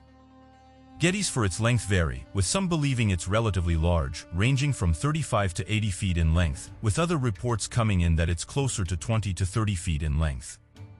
What's interesting is that it's one of the most witnessed cryptids. It's been estimated there's over 350 reports of this creature in the last 85 years. One of the first reported sightings of the creature was made back in 1933. It was made by a man and his wife who were on a cruise at the time. The wife is said to have got the attention of her husband because she saw something strange in the water. After observing the creature for several minutes, they realized it was something they hadn't seen before. They described it as looking like a serpent and having the head of a camel. The next sighting happened in 1934. This was when two government members witnessed the creature making commotion in the water. Again, they described it as being serpent-like with a camel head. By this point, the creature started to become known. The next reports were by that of two fishermen who encountered the creature in a bay. What was different about the sighting though was that two of the creatures were observed. The fishermen reported that the first one they saw was around 60 feet in length, while the other one was around 25 feet in length. Captain Paul Salbaugh is said to have had one of the closest encounters with the creature in 1939. He said the following, we were heading north and about 30 miles offshore, saw this strange thing standing around 4 feet out of the water. So I headed over to take a close look at it. At first, I thought it was a polar bear with ruffles of hair. When we got right up alongside it, the water was crystal clear, and we realized it was at least 40 feet in length and had huge eyes. I had an old Newfoundler as a mate and he said, do you see the eyes on him? Mouth and nose, I have no recollection at all. Just those great big eyes. And the eyes seem to open from top to bottom. Some have compared this creature to the Hucala monster. Over the years though, sightings still come in from the creature. Explanations for what people are seeing range from jellyfish to oarfish. But it's said that fishermen wouldn't get these creatures mixed up. Astronomers have spent years looking for a mysterious star. The team behind the discovery finally found what they were looking for. It's been described as being the shape of a teardrop and it's said that it only pulsates on one side. This star's official name is that of HD 74423, and thanks to NASA's Transiting Exoplanet Survey satellite, researchers were able to find out more about this mysterious celestial object. The test data showed scientists the star is around 1.7 times the mass of the Earth's sun. The reason behind its strange pulsating is said to be because of a nearby star. Astronomer Don Kurtz from the University of Central Lancashire in the UK said the following, We've known theoretically that stars like this should exist since the 1980s. I've been looking for a star like this for nearly 40 years, and now we have finally found one. As mentioned, these types of pulsating stars are not anything new, and researchers have known about them for a while now. In fact, studies within our very own solar system shows that our sun does pulsate every so often. The reason HD 74423 pulsates the way it does is because of a nearby red dwarf. It flies around the star every two days, and this causes a strong gravitational pull, causing HD 74423 to take on this strange shape. A study based on this research can be found in the Journal of Nature Astronomy. One of the most interesting discoveries of recent months has been that surrounding the discovery of many new exoplanets, and this again was by the Transiting Exoplanet Survey satellite. For those that aren't aware, back in 2009, the Kepler satellite was launched with the purpose of discovering planets all across our galaxy and helped to shed light on the discovery of a number of potential habitable Earth-like planets located very close to our solar system. This mission proved to be such a success and at the center of a number of incredible discoveries that this led to the creation and launch of another satellite system known as the Transiting Exoplanet Survey Satellite. And this was designed for the purpose of discovering exoplanets moving across the surface of their parent star and revealing their size in their shadows. Despite this new state-of-the-art system having been launched back on the 18th of April in 2018, it's already made a number of exoplanet discoveries in recent months. These discoveries include eight new confirmed planets, 300 additional planetary candidates, a number of gas giant planets and many Earth-like planets that have been missed by previous Kepler missions. Additionally, these new discoveries have allowed the new revelation that for a planet to form similar to those of Jupiter, it must have an orbit that has been disturbed, allowing it to form to such a massive size. Providing new insights as to exactly how gas giants are formed in the universe. At the rates this new satellite is discovering undiscovered planets, it will surely pass the Kepler satellite in a few years, as well as lead to a number of incredible insights and discoveries in the academic field. It's discoveries like these that show us how truly vast the universe is. Every other week scientists and researchers are making new incredible discoveries. It's been estimated by scientists there's around 3,000 human-made satellites in orbit around the Earth. After the Soviet Union launched the very first artificial satellite into orbit in 1957, various countries around the world have sought to compete, and satellites today are now used for communication, navigation, and exploration. One mysterious satellite that's been capturing people's attention for many years is the Black Knight satellite. The black satellite is considered by some to be an object that's very old, saying it's been above our planet for a long time now. No one knows its true age, but some have said it could be thousands of years old. This mysterious satellite has been featured in the media since the late 50s and has become one of the most talked about objects in Spain. One of the first people to allegedly pick up on the object was that of Nikola Tesla, a Serbian-American inventor who would change the world we live in. At the time, his unique mind wasn't appreciated. It's only been in the years following his death that people respect what he was trying to achieve. Nikola Tesla wasn't one to shy away from electricity and being able to harness it. Anti-gravity technology and something that become known as the ether.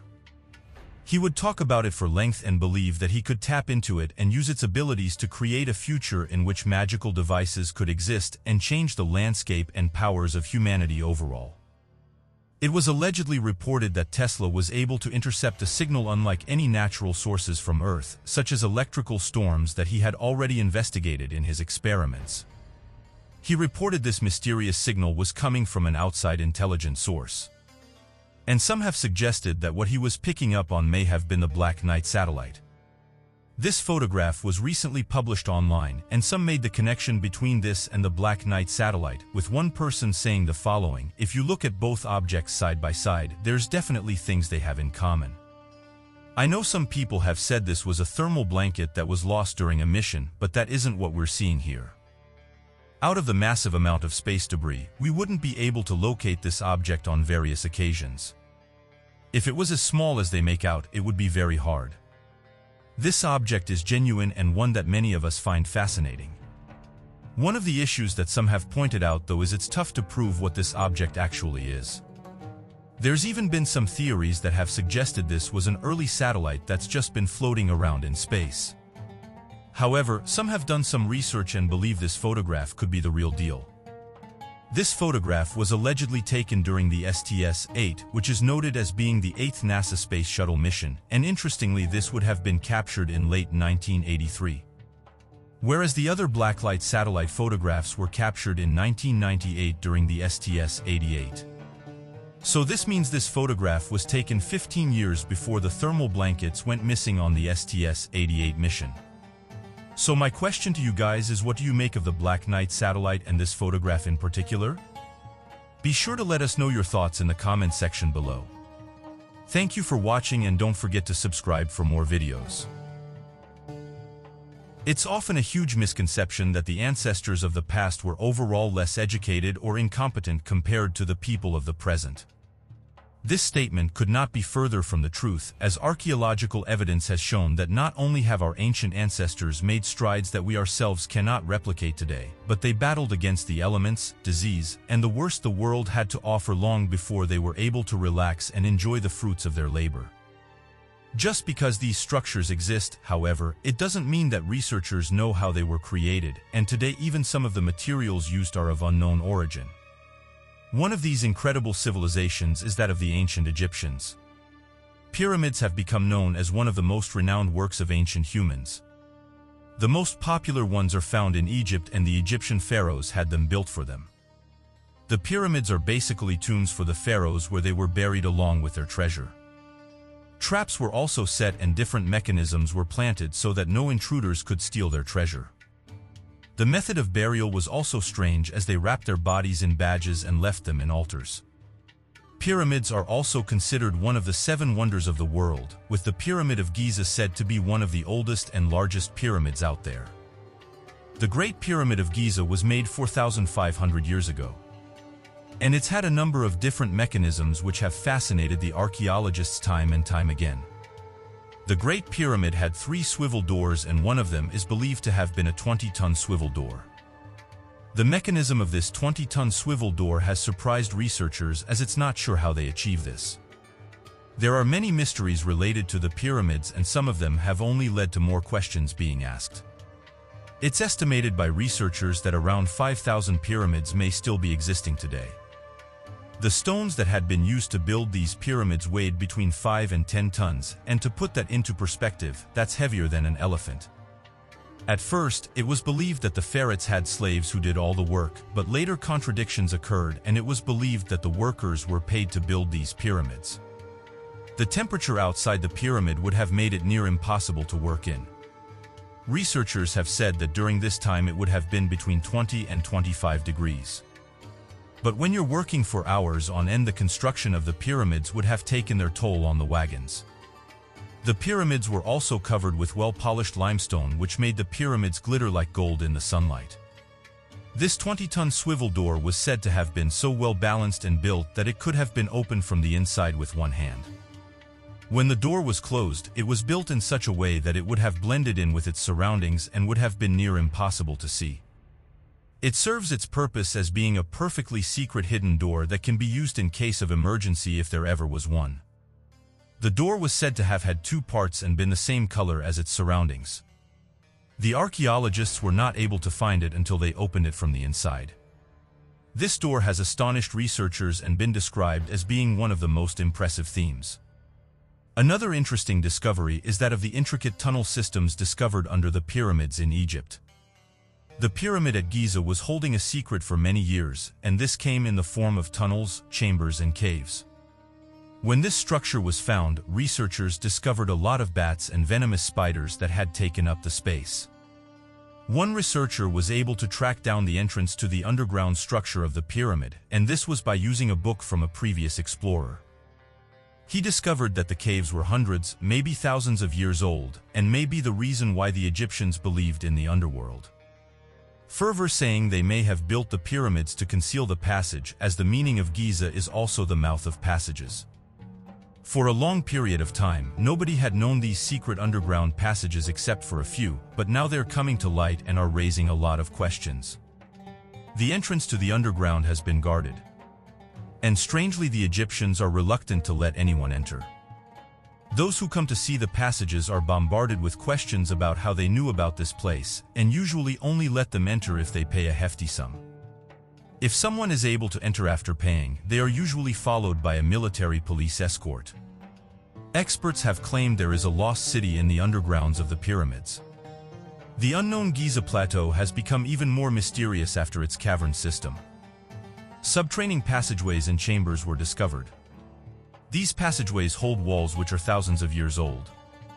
What made the people more curious is how the Egyptians sealed the information and location, unlike making it public like they'd done with the pyramids. The discovery of the passageways and having little to no information about it shows that history is not being completely passed down. A lot of such places are denied by the Egyptian authorities even though there is conclusive evidence that these places exist. It comes across as the Egyptians don't want to tell the world about what they know and are being very secretive about the underworld that's been discovered. The two structures that were discovered are the well shaft and the grotto. The well shaft connects with the underground as it's a passageway that goes 200 meters into the bedrock beneath the pyramids. Many theories were put forward for the use of this well shaft that included providing air to the Warchans, used as an escape route and to repair the king's chambers, but all these theories had been denied. The Great Pyramids were built and included many more tunnels that had been found. The issue is why have some of these channels and tunnels been kept secret and not properly excavated? It's hard to know what's truth and what's fiction. The grotto is a natural chamber in the well shaft and lies beneath the bedrock of Giza, but the base was later used to build and construct a pyramid. This shows how the Egyptians did detailed planning before building a pyramid. Another interesting discovery is there appeared to be a massive underground water tunnel network that ran underneath the Giza Plateau that has long since dried out. This led researchers to look more into what is believed to be initially formed water chambers and the role they could have played in the construction of the large pyramid. They found that although water beneath structures usually plays a large role in the instability of the base of the structure, it appears as if the network of tunnels and water chambers found in the pyramids appear to not threaten the stability of the pyramid. This led researchers to believe that the tunnels must have been accounted for in the construction of the pyramid or possibly added after the construction with the pyramid's stability in mind. Still to this day, Egyptologists and researchers are completely unaware as to what the role of these underwater chambers helped to play in the construction of the pyramids. The next thing researchers have struggled to explain is that of the mortar used. It's been reported that the mortar is of unknown origin. Along with its design, the mechanisms used inside the pyramids have also left researchers astonished. Looking at the structure from a purely mathematical standpoint, the Great Pyramids of Giza consist roughly of 2.3 million stone blocks, with each ranging from 2.5 to 15 tons apiece. According to supposed Egyptian documents discovered in nearby tombs and areas regarding the pyramids, the pharaoh recorded that only 20,000 workers built the pyramids over the course of 20 years. If that turns out to be the case according to these ancient Egyptian records, then that would mean to meet this requirement each worker would have to cut a block with perfect precision from a quarry, move this block to the pyramid alone, a task already impossible for a single man to do. And then pull the block of the pyramid into its position without any help once every 30 days. This would mean that each block would need to be placed once every two and a half minutes, with each of the 20,000 workers tirelessly performing with utter brain. The main Egyptologists have concluded that the pyramids were built with the simplest of ways. The workers used copper chisels and iron tools, as well as flint, quartz and direct pounders. Ancient Egyptians did use some advanced methods of constructing, which included large wooden crowbars and wooden sledges. Though despite the defense mechanisms, it's been agreed upon that the pyramid had already been looted and broken in before its discovery as this is the only way to explain the disappearance of the treasure and the mummy from the pyramid. The architects also found the mortar that was used in the mechanisms, and it's been identified as an unknown object. The origin of the mortar is still unknown, and this has confused the researchers even more. The material has been tested and the mortar has been proven to contain parts of quartz, calcite and halides. Its chemical composition has been analyzed by researchers, but through various experimentation they were not able to reproduce something having the same material as the mortar. Its durability was also tested in different experiments and it was deemed stronger than stone. This video was shared on Facebook a few days ago.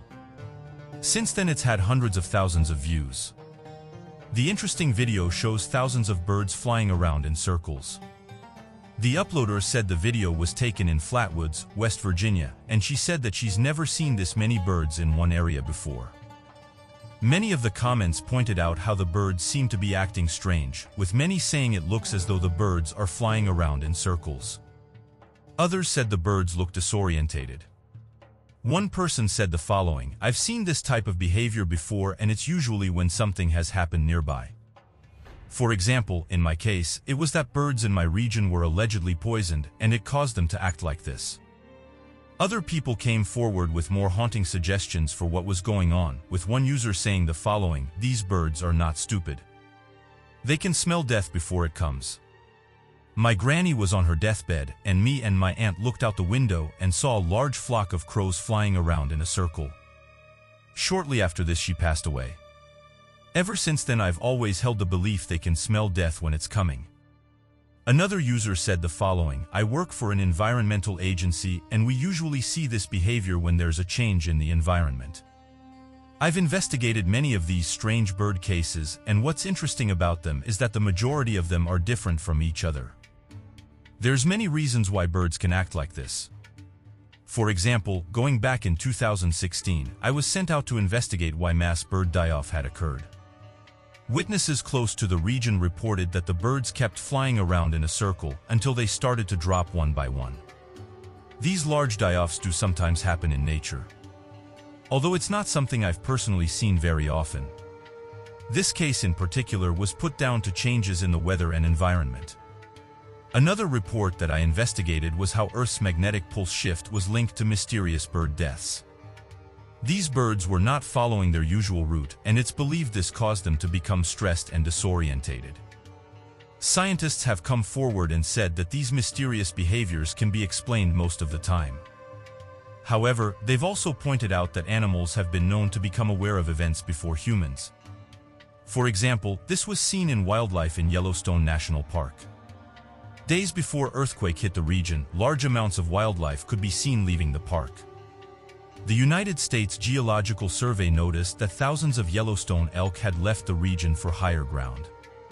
One way animals are said to detect things before humans is by feeling the Earth's vibrations. Some research has suggested they can even pick up on electrical changes in the air or gas released from the Earth. And this is why if an earthquake is about to happen some animals will try and find shelter. Although humans are looking to explore space in order to further our knowledge, there's many regions on our planet that haven't been visited. This includes places like the dense jungles of our world. However, one place that's just as mysterious as that of our oceans. One of the most fascinating things that makes the oceans quite mysterious for us humans is the fact that 80% of it is still unexplored. Despite the history of sailing going back centuries, we have still only been able to scratch the surface of the water world that accounts for more than 70% of the Earth's surface.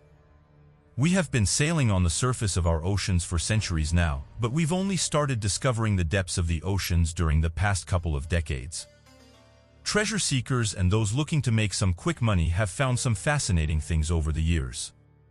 One interesting discovery was made a while back by a team of treasure hunters. This mysterious underwater object goes by the name of the Baltic Sea Anomaly, and it soon made headlines shortly after its discovery. This was because the object in question looked eerily similar to what a standard UFO is said to look like, having a dish-shaped body and being fairly large and sleek-looking. The Baltic Sea anomaly has a 60-meter diameter and can be found lying on the floor of the northern Baltic Sea. It was discovered by Peter Lindberg, Dennis Asberg and their Swedish OceanX diving team back in June 2011. The team made this discovery while they were looking for an algebraic. As they passed over the object though, they received a mysterious reading. They'd never seen anything like this before and were very excited by what this object could potentially be. The group have described themselves as individuals who locate underwater treasure and bring it back to its former glory. They specifically specialize in underwater and historic artifacts. According to OceanX, the anomaly is around 3 to 4 meters thick and has an approximate diameter of 60 meters. Interestingly, this large object is said to be sitting on a thick 8-meter tall pillar-like feature and can be found at around 85 to 90 meters. One thing the team have noted though is that the visibility is really bad. And although 90 meters doesn't sound deep, it's really hard to see anything when you're down there. The team reported that on their first expedition, they started to experience some malfunctions in their equipment. They didn't think much of it, but as they passed the object, everything started to work again as normal. Thinking this was just a one-off, they then went back over the object. And once again, their equipment stopped working. This has caused the team to speculate that this object is giving off some kind of electromagnetic field. They have tested this a variety of times and every time they do, their equipment stops working. Professional diver Stefan Hogeborn said the following about it. Anything electric out there and the satellite phone as well stopped working when we was above the object. When we got away around 200 meters, it turned on again. And when we got back over the object, it didn't work. Those who have heard the Baltic Sea anomaly turning off the equipment have said this is UFO interference. There's been various cases where people have reported that unidentified flying objects have shut off their electrics, only for them to turn back on once the craft has left. UFOs are said to be able to turn off vehicle electronics when they're close by. These accounts have been reported from people operating all types of machinery. This includes things like airplanes, tractors, cars, buses, motorbikes, and even lawn mowers. Interestingly, those who reported these mysterious events said that once the craft left, everything turned back to normal. One report comes from that of a crew on a fishing vessel. They said that after spotting a mysterious object in the sky, all their electronics shut off. This included the ship-to-shore radio transmission. After around 15 minutes and when the object had passed, everything went back to normal. This report was from Iceland. And interestingly, some have come forward in detail that they had seen crafts entering and exiting the ocean. When entering the water, these crafts don't make a splash or any noise. This has caused some to speculate that these crafts are interested in our oceans. There's been many reports of those who work at sea, and they state that these objects can sometimes be seen entering and exiting our oceans at high speeds. Naval officers have reported seeing bright lights below the surface of the water. And then seeing a large object slowly descending into their dams. One interesting report is that of the disappearance of Frederick Valentich. On the 21st of October 1978, a man by the name of Frederick Valentich disappeared under mysterious circumstances. He was flying across the Bass Strait in a Cessna aircraft while on a 230 kilometers training flight. At this point, he'd already done around 150 hours of flying time which made him an amateur pilot. He was confident in this type of flight so decided to do the journey. On that day at around 7 p.m. at night, the pilot radioed into the Melbourne Flight Center to report an unknown aircraft. He stated that it was following him at around 4,500 feet. The service responded and told him that there was no traffic close to him at the time of the report. Valentich was adamant about what he saw, saying a sizable unknown aircraft was closing in high speeds, saying that it had mysterious flashing lights. He added that the aircraft that kept approaching him was metallic and shiny, with a green light on it. Minutes later, Valentich reported that he was having problems with the engine, and when the service asked him to identify the aircraft once more, he radioed it isn't an aircraft. A noise like a metallic scraping sound interrupted before the transmission was cut off. Shortly after, a sea and air search were conducted around the area, but nothing turned up. The case was closed after the Department of Transport investigated the case but found nothing, assuming the disappearance to be fatal. Five years later, an engine cowl flap that came from a Cessna aircraft similar in range as Valentich was found was to show on Flinders Island. According to his father, for his disappearance, Valentich believed in UFOs and was worried by the thought of being attacked by one. Ufologists believe that Valentich's aircraft was either destroyed by extra treasures or they abducted him. Interestingly, locals close to where he went missing stated they saw bright green lights around the same time. Some, however, have put forward the idea that Valentich staged his own disappearance. With all the theories surrounding the disappearance of Frederick Valentich, none have been able to give a solid answer for what happened. One of the places where many of these reports are submitted to is that of MUFON. The Mutual UFO Network is a US-based company that helps people report their UFO sightings. A New York witness said the following about their encounter. Initially, I thought the lights I was looking at were dim stars or stars covered with clouds. However, I soon realized the lights were too close to the ground. They pulsated and appeared to be on the outside of a source-like flying object. As I approached the strange-looking object my electronics cut out. It scared me as I wasn't sure what this thing was and why everything was cutting out. New York MUFON field investigator Mr. D. Pirano said the following about the case. The witness described the object as being huge, around the size of an acre. The witness then said the object's lights began pulsating as if to get her attention.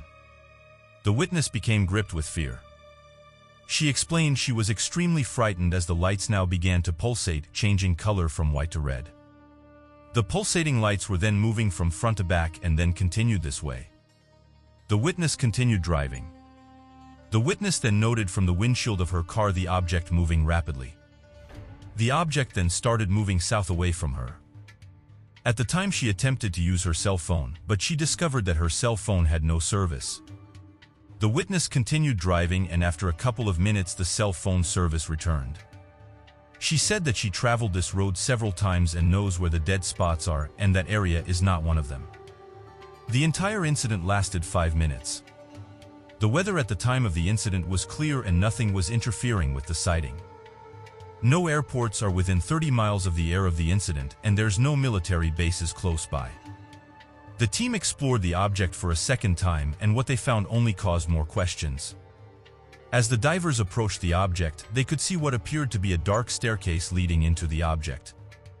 Interestingly, tests were sent off to try and determine what the object was made of. Steve Weiner said that according to his tests, the object was not a geological formation. A further said that the structure was made from metals which nature could not reproduce itself. The OceanX team further said the craftlet even bigger when down there and compared it to the size of a passenger plane. While down there they could see what appeared to be a trail behind the object, this is also backed up from the sonar images. This has only led to people suggesting that whatever this object is came crashing down. These skid marks can easily be seen on the ocean floor, and they baffled the team when they first saw them. Outside of the object on the surface, the researchers have also reported seeing unusual carvings, almost like unnatural-looking shames. The wreckage sits at a depth of 90 meters, and waters in the area are always muddy, factors that make it virtually impossible to film or photograph the site. Lindberg has said there's a chance this object could be a natural formation, but geologists have told him this object is definitely not an underwater volcano. Going back a few months ago, the team returned to their site and while here they dropped down a remotely operated vehicle. However, when it reached a few meters above the anomaly, the team said the compass went berserk. What's interesting is the first time they went to the anomaly, something similar happened. Peter Lindberg said the following about the event. It was very difficult to understand what the ROV was because of the terrible visibility and because of the compass that went berserk. The compass was living its own life and the tether was snagged all the time. The UFO community have said that it's possible this object could be an unidentified flying object. However, scientists and researchers are of the opinion that this object is natural. Although various tests have gone against this, other researchers have suggested that it formed during the Ice Age, but they're not sure about what it is. More research needs to be carried out to determine what exactly the object is. Many are well aware of the commonalities seen when reading over UFO reports and what they tend to mean when spotted. The term UFO has become synonymous with images of extraterrestrial life, despite the term having existed in aviation for many decades prior to the alien abduction phenomenon. Prior to its stigmatization with the extraterrestrial phenomena, which stands for unidentified flying object, was commonly used in the military to help classify enemy planes which hadn't been identified. Though it might seem obvious in explanation, many still can't help to envision little green men when the term UFO is thrown around. UFO is not the only term that's grown in popularity within the UFO community. There appears to be another term that is slowly becoming far more popular and shedding light on the technological capabilities of these crafts. Known as unidentified submerged objects, there have been a number of reports by fishermen, naval intelligence, and a wide variety of anonymous claims. They describe sightings of bright lights or quick-moving objects through the ocean that do not fit the design of anything terrestrial in nature. These USOs, as they're called, have also proven to look remarkably similar to UFO sightings in dish-shaped graphs. In fact, many sailors have claimed to have seen USOs rise out of the water and fly away as a massive bright light. This has led many to consider the very real possibility that UFO crafts also have the ability to serve as submerged crafts. Over the last few years Sweden has had its fair share of strange goings-on. UFOs have been reported here constantly and it's said to be a hotbed for USOs. An unidentified submerged object or USO is any object or optical mechanical detection phenomenon of unknown origin observed under the water. That remains unidentified even after a thorough investigation by researchers. Reports on USOs are not new. They go back many years and sometimes come from very credible sources. In one incident that the former U.S. Navy Commander David Fravor narrated, they saw a dark mass underwater while they were retrieving a drone for flying practices and described it as a big mass kind of circular. The second time the pilot saw the dark mass, a practice torpedo that the pilot had been sent to recover was sucked down into the ocean in the presence of the underwater mass and was never to be seen again. In another interview, he revealed that a 79-year-old lady reached out to him after his sighting went public and she reported that her father, who was a formal naval officer showed her a telegram which stated that unidentified objects had been seen going in and out of the water. In January 1965 Captain Bruce Cathie, a DC-3 pilot in North Island spotted a USO and described it as metallic, streamlined and symmetrical in shape, approximately 100 feet long and 15 feet out as wide as far. The New Zealand Navy told Captain Cathie that no submarine could have been in that area. In January 1968, several eyewitnesses reported seeing a large disk-like object hovering over Wellington City and said that it was heading for Island Bay. The area police reported that they could see the object from the coast of binoculars. Between 1957 and 1968, a Brazilian scientist was startled by something that came roaring out to the sea. This object had smashed through 37 feet of ice, going up to the sky like a silver bullet. Other eyewitnesses saw blocks of ice that had been thrown into the air, falling all around. with a lot of steam coming from both the hole in the ice that was falling. In August 1974, two eyewitnesses from Orana Beach reported seeing a very dark object protruding from the water, appearing to have smaller dots flying around it, and assumed that they were helicopters circling a submarine. The object was described as being large and looking like a large cylinder. In the southern part of Siberia lies a mysterious lake which has many stories attached to it. This interesting lake goes by the name of Lake Baikal, and it's reported as being the deepest and most ancient lake on the planet. Due to this, it's been given the name of the Pearl of Russia. This lake is deep and it's said that within these depths of creatures and objects, only a few have seen. Giant lake monsters have been reported to live in Lake Baikal. Perhaps the most interesting reports from this region though is the vast amounts of unidentified flying objects said to be interested in this area. Interestingly, declassified Soviet-era documents have been discovered which detail the Russian Navy having run-ins with UFOs. Although these documents don't just mention USOs or even the lake in particular, the two are talked about in the document, and it's led some people to believe that these crafts have been visiting the lake for many decades. For years now mysterious blinking lights have been seen by various people visiting the lake. These mysterious objects are known by the locals, and they have said that they've been here for many years. Some groups have suggested that these crafts are after something inside the lake, while others have said they're just observing. Others have suggested that these crafts actually enter the water and have on some occasions been seen exiting the water at very high speeds.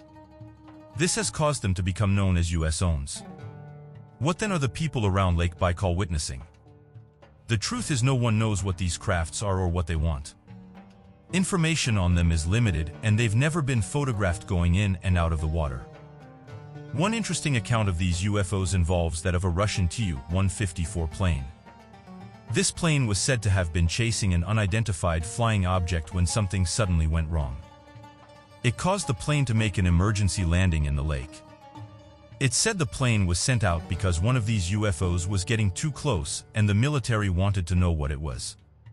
However, the plane wasn't able to get close to the craft, and some researchers have suggested the UFO shut off the plane's lead rings, and this is the reason why it crashed into the lake. Perhaps the most interesting account to come from the lake is that of the lake people. This first contact happened in 1982. This was when Navy divers in the lake reported seeing what they described with giant humanoids. They said the beings were much larger than them and appeared to be wearing some kind of suit. The divers were interested in these underwater giants and so decided to go and investigate. However, the story goes that as they approached the beings, they were quickly thrown to the surface of the lake. And due to the force in which this happened, the team suffered multiple injuries, with some of them even passing away. The Russian government however denies that this happened and that it's nothing but stories. Interestingly, these aren't just one-off reports either. Many have come forward with their alleged encounters and each one follows a similar theme. Reports detail that when approaching near the continent of Antarctica, Japanese crew members will report seeing what appears to be large giants laying out in the ocean and that they appear to be humanoid in shape. These creatures are described as being 20 to 30 meters in length and completely white in color. Others have often reported that the creature was originally mistaken as being a large submarine in the distance before getting closer and seeing Hound's fingers, eyes and a mouth. This has led to the name of the Ningen by the Japanese crew, whereas others simply refer to these creatures as the Antarctic humans. To this day, a few images can be found online. Some suggested that these are recreations and not the actual creature itself. Those who have had a close encounter with them have described them as being a calm creature and do not mind humans being in the area. Over the years there's been many strange reports. Although most of these end up getting solved, some of them remain unanswered. One interesting account is that of military soldiers that encountered a mysterious being. The story goes that back in 2002, a military unit encountered a giant being in Kandahar. American soldiers were trekking up a mountainside when they saw signs of a large being. Footsteps could be seen in the area. And so the soldiers decided to investigate to see what they could find. While looking around the mountainside, they could hear strange grunting noises. This was when they saw a large humanoid run out of a cave. They reported that the being was over 13 feet tall and had red hair. It had six fingers on each hand and was hostile towards the military unit.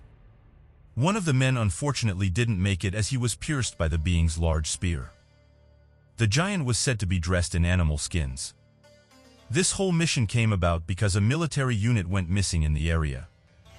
This caused another unit to go looking for them. However, when they did, they ended up finding more than what they bargained for. After the soldier got pissed with the spear, it then turned his attention to the rest of the group. The others quickly fired at the giant, hitting all over his body. They continued to do this until the giant dropped to its knees. After this, the unit reported it to their superiors. They gave them clear instructions to hide the body and stay near it, ensuring that no one nearby saw what they were trying to hide. After this, the body was taken to a secure location, and allegedly the soldiers were told not to talk about this incident. One of the issues with this story, though, is that there's no evidence to back it up. And all we have today are these alleged claims. Interestingly, this story reminded many people of the red-haired giants of Lovelock Cave, saying that these beings have been reported for years all over the planet. Many of the Native American legends relate to the stories of tribes of giants that roamed the earth at one point in time. One such legend comes from the Paiute tribe that lived in the Nevada region a thousand years ago. This remarkable legend is about a mysterious race of red-haired giants, also known as the Sidakar. According to the legend, these redhead giants haunted humans and also ate them. These giants came to America from an unknown island. They crossed the oceans on rafts that they had built using fibrous plants. According to the native legend, the Redhead Giants waged war on the tribe and other neighboring tribes. They also terrorized the tribes for many years. Finally, they decided to unite against this fierce enemy race. Their unity and consistency in fighting the red-haired giants resulted in the death of the giant race. The last remaining giants ran away and sought shelter in a cave. The tribes then went to these caves and started a fire at the entrance. This was in order to burn and suffocate these giants inside the cave. After that, the tribe sealed the mouth of the cave. This legend of the red-haired giants could have easily been dismissed had there not been similar tales of cannibal red-haired giants among other Native American tribes. Interestingly, between the years of 1912 and 1924, something remarkable happened. A group of archaeologists from the University of California discovered a number of strange objects inside the Lovelock Cave. Among the objects were the mummies of red-haired giants. These mummies were 8 to 10 feet in height. As they were found in the Lovelock Cave, these giants were named the Lovelock Giants. The archaeologists also discovered a pair of giant sandals, far too large to fit an average human's feet. These sandals were 15 inches long and had signs that showed they were once worn by someone. Researchers also discovered a handprint on one of these stones in the Lovelock Cave. The imprint came from a massive hand. Many of the items found in the Lovelock Cave are today held in many different museums and private collections. In 1931, two large skeletons of red-haired giants were found buried close to the Lovelock Cave. These amazing discoveries have led several people to believe that at one point in time these giant humans did exist. Another interesting account is that of the Malmstrom Air Force Base UFO. Our next mystery begins on March the 24th, 1967 in Roy, Montana. This was around 60 feet below ground in the missile launch bunker of Malmstrom Air Force Base, and this happened during the peak of the Cold War. This bunker was in control of 10,800 kilotons of nuclear warheads, which were codenamed the Minuteman I. Sometime during the morning hours, the missile control men got a call from a terrified guard station above the bunker. They reported seeing a flying glowing red object that would accelerate and stop in an instant. It would then reverse its course, turn a 90-degree angle and seemingly defy all laws of physics. Those who saw the craft and heard the story said that it was unlike any man-made aircraft. As the men were informing the commander of the base what was going on, the unthinkable then happened. All 10 missile control lights switched from green to red. All 10 missiles were disabled at the exact same time. With this, America's missile shield was down. This terrified the men even more as this was a hot time during the Cold War, and the threat of nuclear retaliation was the only thing holding back both sides from annihilating each other. As the crew tried to get the missiles back online, they contacted another missile crew on the base. What they discovered was bone-chilling. The week before, the second crew also reported seeing the unexplainable glowing object hovering above the base. As the crews were conversing, the second crew's missiles were also disabled, leaving the entire base unarmed. Shortly after, the UFO flew away never to be seen again. It took the base almost 24 hours to get the missiles back online. While missiles going red is not entirely impossible, as it does happen on a very rare occasion, all missiles going off at the same time is undeniably unlikely and must have had some sort of outside influence. Another interesting incident is that of the Wright-Patterson Air Force Base. While many think of the highly classified Area 51 as the home of alien research and is the center of the most extensive alien cover-up in the world, many might be surprised to hear Wright-Patterson Air Force Base. The Wright-Patterson Air Force Base in Greene County sits in the location that was once Walter Wright's Airfield and Fairfield Aviation General Supply Depot and is a complex of many buildings. The one of interest is that of Hangar 18. Hangar 18 is widely known by UFO enthusiasts as it's said to be the location that the government hides the physical evidence of extraterrestrial contact, whether it be the remains of spacecraft debris, extraterrestrial equipment, and allegedly even the corpses of aliens. Allegedly, there's a highly guarded top-level clearance inside the warehouse codenamed the Blue Room. Due to various sources, this location is home to the least classified information, and this comes from those that have worked there. It's widely believed that this Blue Room is the location where the United States government houses captured alien life and conducts experiments on them which often lead to termination. The notoriety of Hangar 18 goes back to the infamous Roswell event, the alleged crash in July 1947 near Roswell, New Mexico. This was where there was a recorded press release issued by the Roswell Army Airfield stating that the personnel inspected the crash of a flying disc and that they sent it on to the headquarters for research. Shortly after, there was another press release from the Air Force Base in Fort Worth, Texas. It claimed to be the headquarters that the remains were sent to, not Wright-Patterson, and that the remains were only that of a weather balloon. However, throughout the years, the government's repeated use of the excuse of weather balloons and swamp gas became so cliched that much later in 1994, the Air Force Base went on to say this was untrue, and that it was in reality testing a surveillance device that was designed to fly over nuclear research sites in the Soviet Union, which was equally backed by a complete lack of evidence. On multiple occasions, the Air Force had denied the rumors and stated there was never a building called Hangar 18 even close to the base. However, satellite imaging has shown that to be only semi-true, as there clearly is a structure named Building 18. However, many refuse to believe the misdirection away from Wright-Patterson, as it has been officially documented as the home of Project Sign, an initiative that was signed into action in July of 1947 and was dedicated to studying reports of UFO sightings. The project was converted into Project Grunge in 1949 and then into Project Blue Book in March 1952, which led to the Blue Room theory. It was officially stated that Project Blue Book was only designed to study crashed Soviet aircraft from the Korean War. However, Senator Barry Goldwater was recorded asking General Curtis LeMay for access into the base, with which LeMay was quoted saying, not only can't you get into it, but don't you ever mention it to me again. A very suspicious response to request to see a bunch of shot-down Soviet aircrafts. The last interesting report is that of the military encountering paranormal entities while on duty. Definitely seen as one of the strangest reports of modern-day encounters for the jinn, was a military encounter in Iraq back in June 2003. An Iraqi soldier and other fighters were stationed at the second floor of a police department to assist with the attacks against the police. This was between the locals and the law enforcement of the city. A lot of people were confused of this sudden attacks by the police. And so one of the main purposes of the Iraqi army was assisting with safety to uncover the reasons as to why such disturbances were taking place. In one of the reports taken by an Iraqi military squad stationed for 24-7 surveillance, they claimed that they encountered several jinn, of whom were watching and patrolling the station. The report details that they believed the individuals to be jinn due to the fact they had glowing red eyes and seemed completely unfazed by the bright surveillance lights used to blind past buyers, of whom attempted to get too close to the station at night. Shortly after the report was filed, the entire station was attacked and every soldier and police in the department passed away from injuries. It then circulated that the jinn were at the center of the attacks, and the majority of the disturbances were caused by the jinn waging the plans of attack.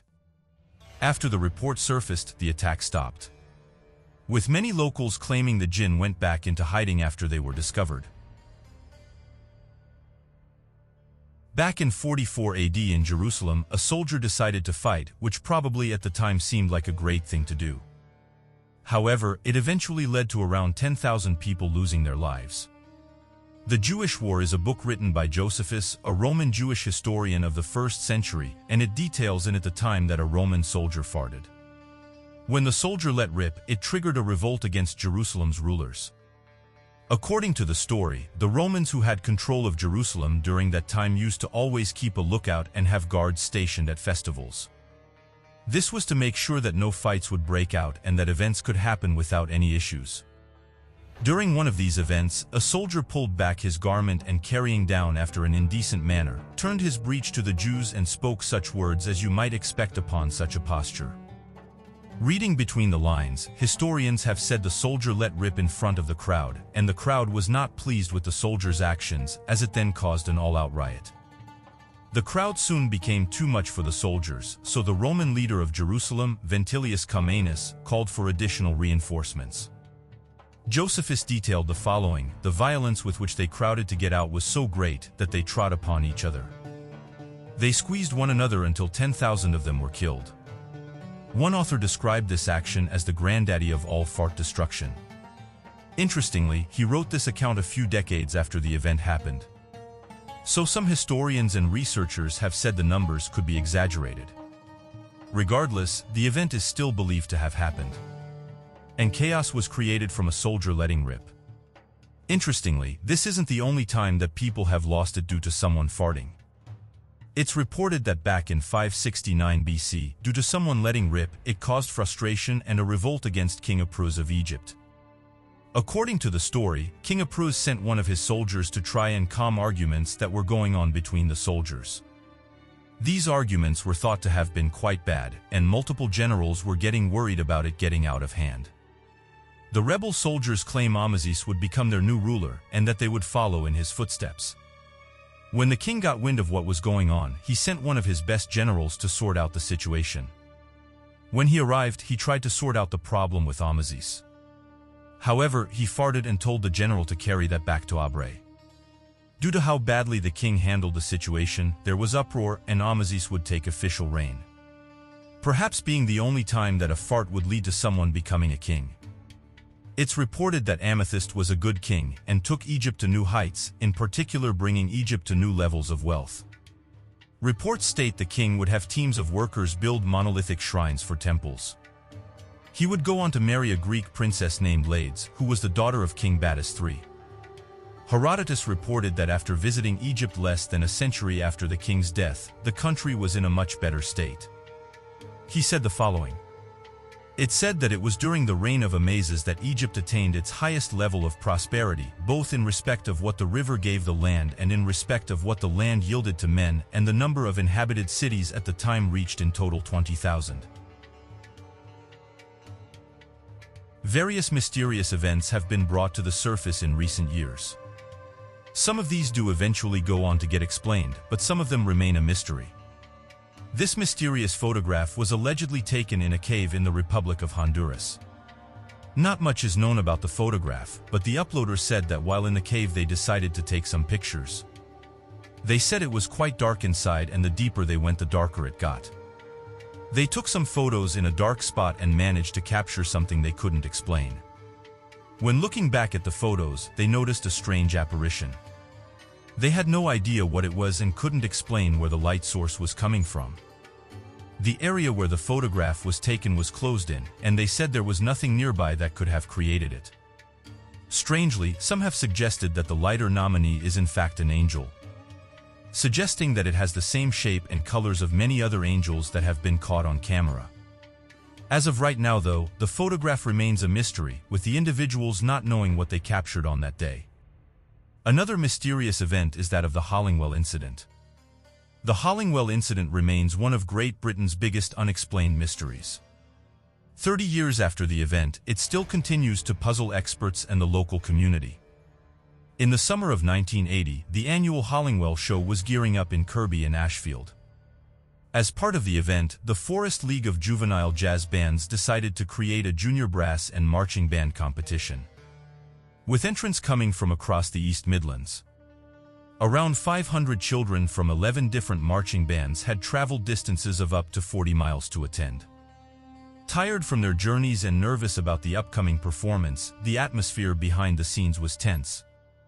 However, tension alone couldn't explain where at 10.30 a.m. hundreds of band members began to collapse. Whatever had caused this soon spread to the adults and babies in the audience. In total, 259 people were taken to four nearby hospitals, with symptoms ranging from sore eyes and throats to nausea. Nine patients were held overnight. Hypothesis from the event on the day spanned from contaminated water, gas leaks to FOs and even the demonic power of Satan. Water and gas companies confirmed all supplies were working as usual and should not have harmed any of the locals. The official inquiry ruled that mass hysteria was most likely the cause. All the symptoms of mass hysteria, nausea, stomach cramps, headaches and fainting were present in Huntingwell that day, and the vast majority of victims were young females which is also in line with mass hysteria's demographics. But could an incredibly rare epidemic of mass hysteria really explain the events of that day? Not all the people present were convinced. Adamant that their symptoms were real and not the result of mass hysteria invented by Sigmund Freud, they were unhappy with the official diagnosis. They argued that mass hysteria could not explain all of the events in Hollinwell. First, according to Freud's notes on mass hysteria, babies are much too young to be influenced by their surroundings, so would not be susceptible.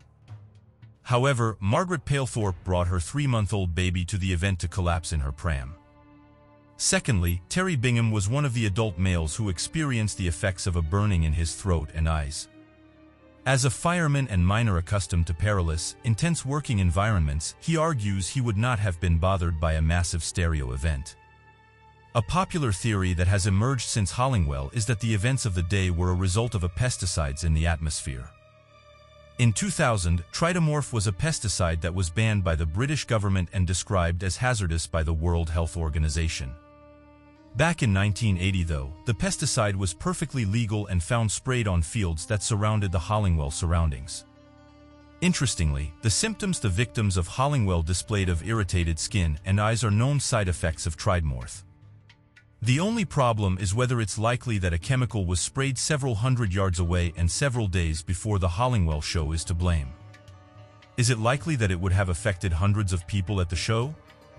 As of today, this event remains a mystery. The next interesting discovery is that of alleged 2.8 billion yield spheres. The Klerksdorp spheres at small objects discovered from 3 billion yield deposits mined in South Africa. The intricate nature and resistance of these objects has led some to believe they are not natural and could have only been manufactured by intelligent beings. Michael Cremo is a prominent member of this theory. He argues that the perfect shape, intricate inside, and unbreakable nature of these objects are evidence of a pre-human civilization and that they existed on Earth billions of years ago. He likens the objects to similar spheres found in Utah that legends hold are 2 million years old and belong to the departed ancestors of the Hopi Native Americans. Cremo and others argue that the shapes are so balanced and in proportion that it's extremely unlikely they were naturally formed. Reportedly, a man by the name of John Hund took one of the spheres to the California Space Institute and was told its balance was so fine that it exceeded the limit of their measuring technology. The inside of the spheres have been described as being perfectly concentric rooms that look like they've been molded and are harder than steel. However, Cremo and others have been met with resistance. Paul Heinrich critiques the sources used and therefore says that the research is flawed. Heinrich argues that the supposed perfect shape of the spheres is exaggerated. Instead, some of the spheres vary from flattened spheres to an oblong shape. Some of them were even found interlocked with each other. All these forms would fall within the range of shapes exhibited by natural concretions. The inside of the spheres are also argued by Heinrich to be natural in origin. The grooves represent fine Graham laminations within which the concretions grew and are similar to other natural objects found 2.7 to 2.8 billion years ago in Australia. and finally claims by Cremo and others that the spheres are stronger than steel have been dismissed. This is when five of them were examined and none were harder than 4 to 5 on the Mohs scale. In context, steel has a rating of between 7 and 8. Interestingly, since Heinrich's critique of Cremo's wife, other sources have come out of the woodwork to deny their claims. Charles Marx had been previously quoted as stating that the spheres had been known to rotate themselves, and this was in vibration-free display cases in the Klerksdorp Museum.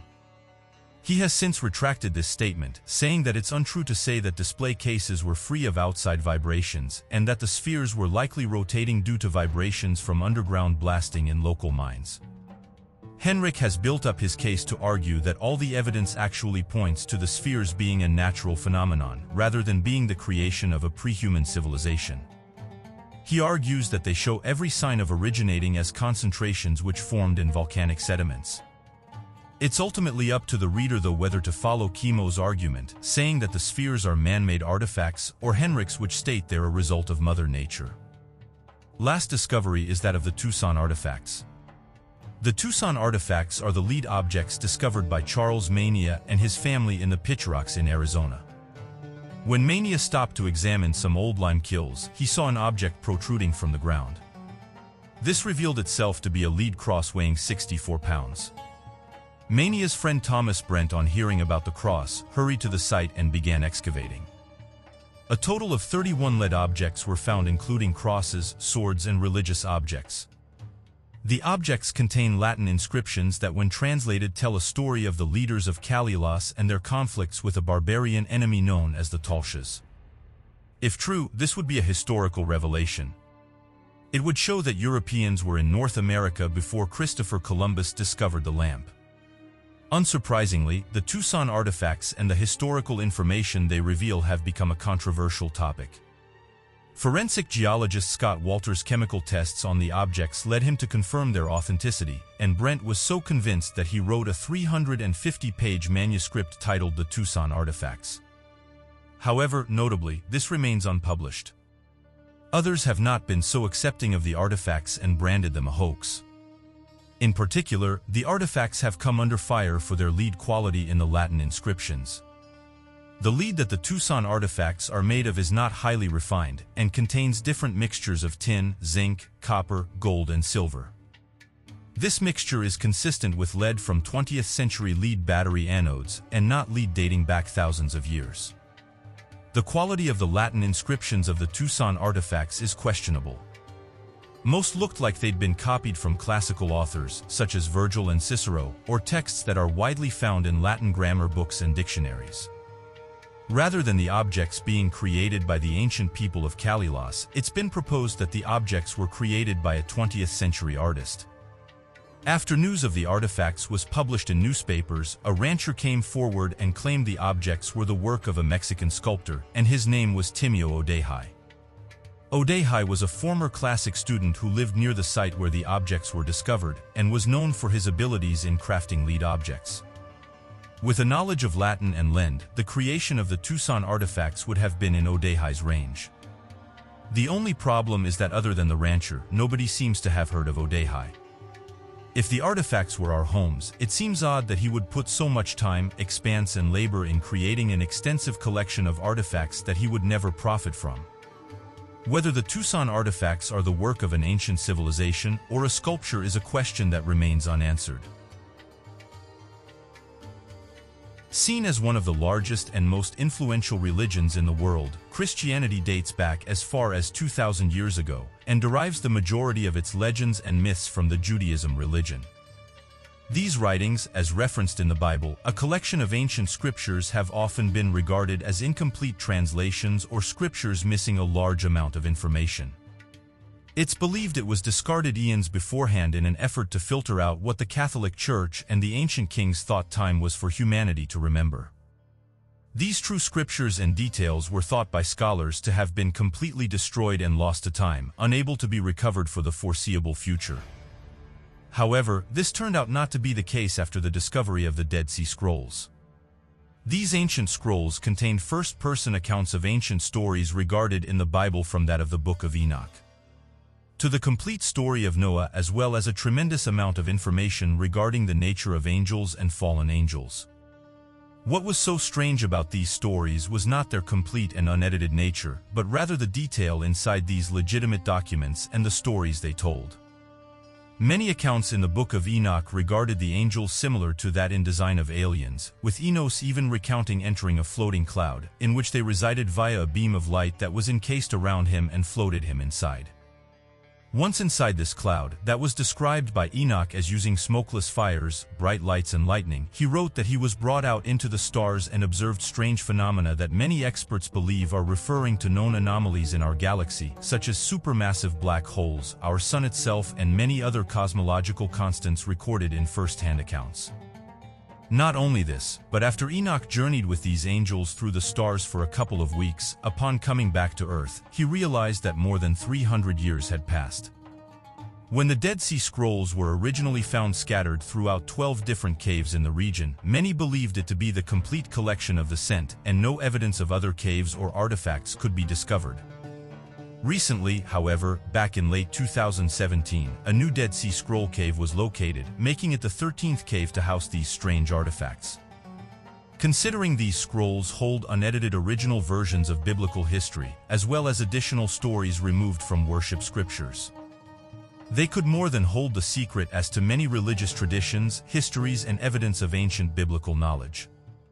However, the Museum of the Bible in Washington, D.C. recently came forward with a startling discovery. They said the following, the Museum of the Bible is trying to be as transparent as possible. We're victims. We're victims of misrepresentation. We're victims of fraud. After an exhaustive review of all imaging and scientific analysis results, it's evident that none of the textual fragments in the Museum of the Bible's Dead Sea Scroll collection are authentic. Moreover, each exhibits characteristics that suggest they are deliberate forgeries.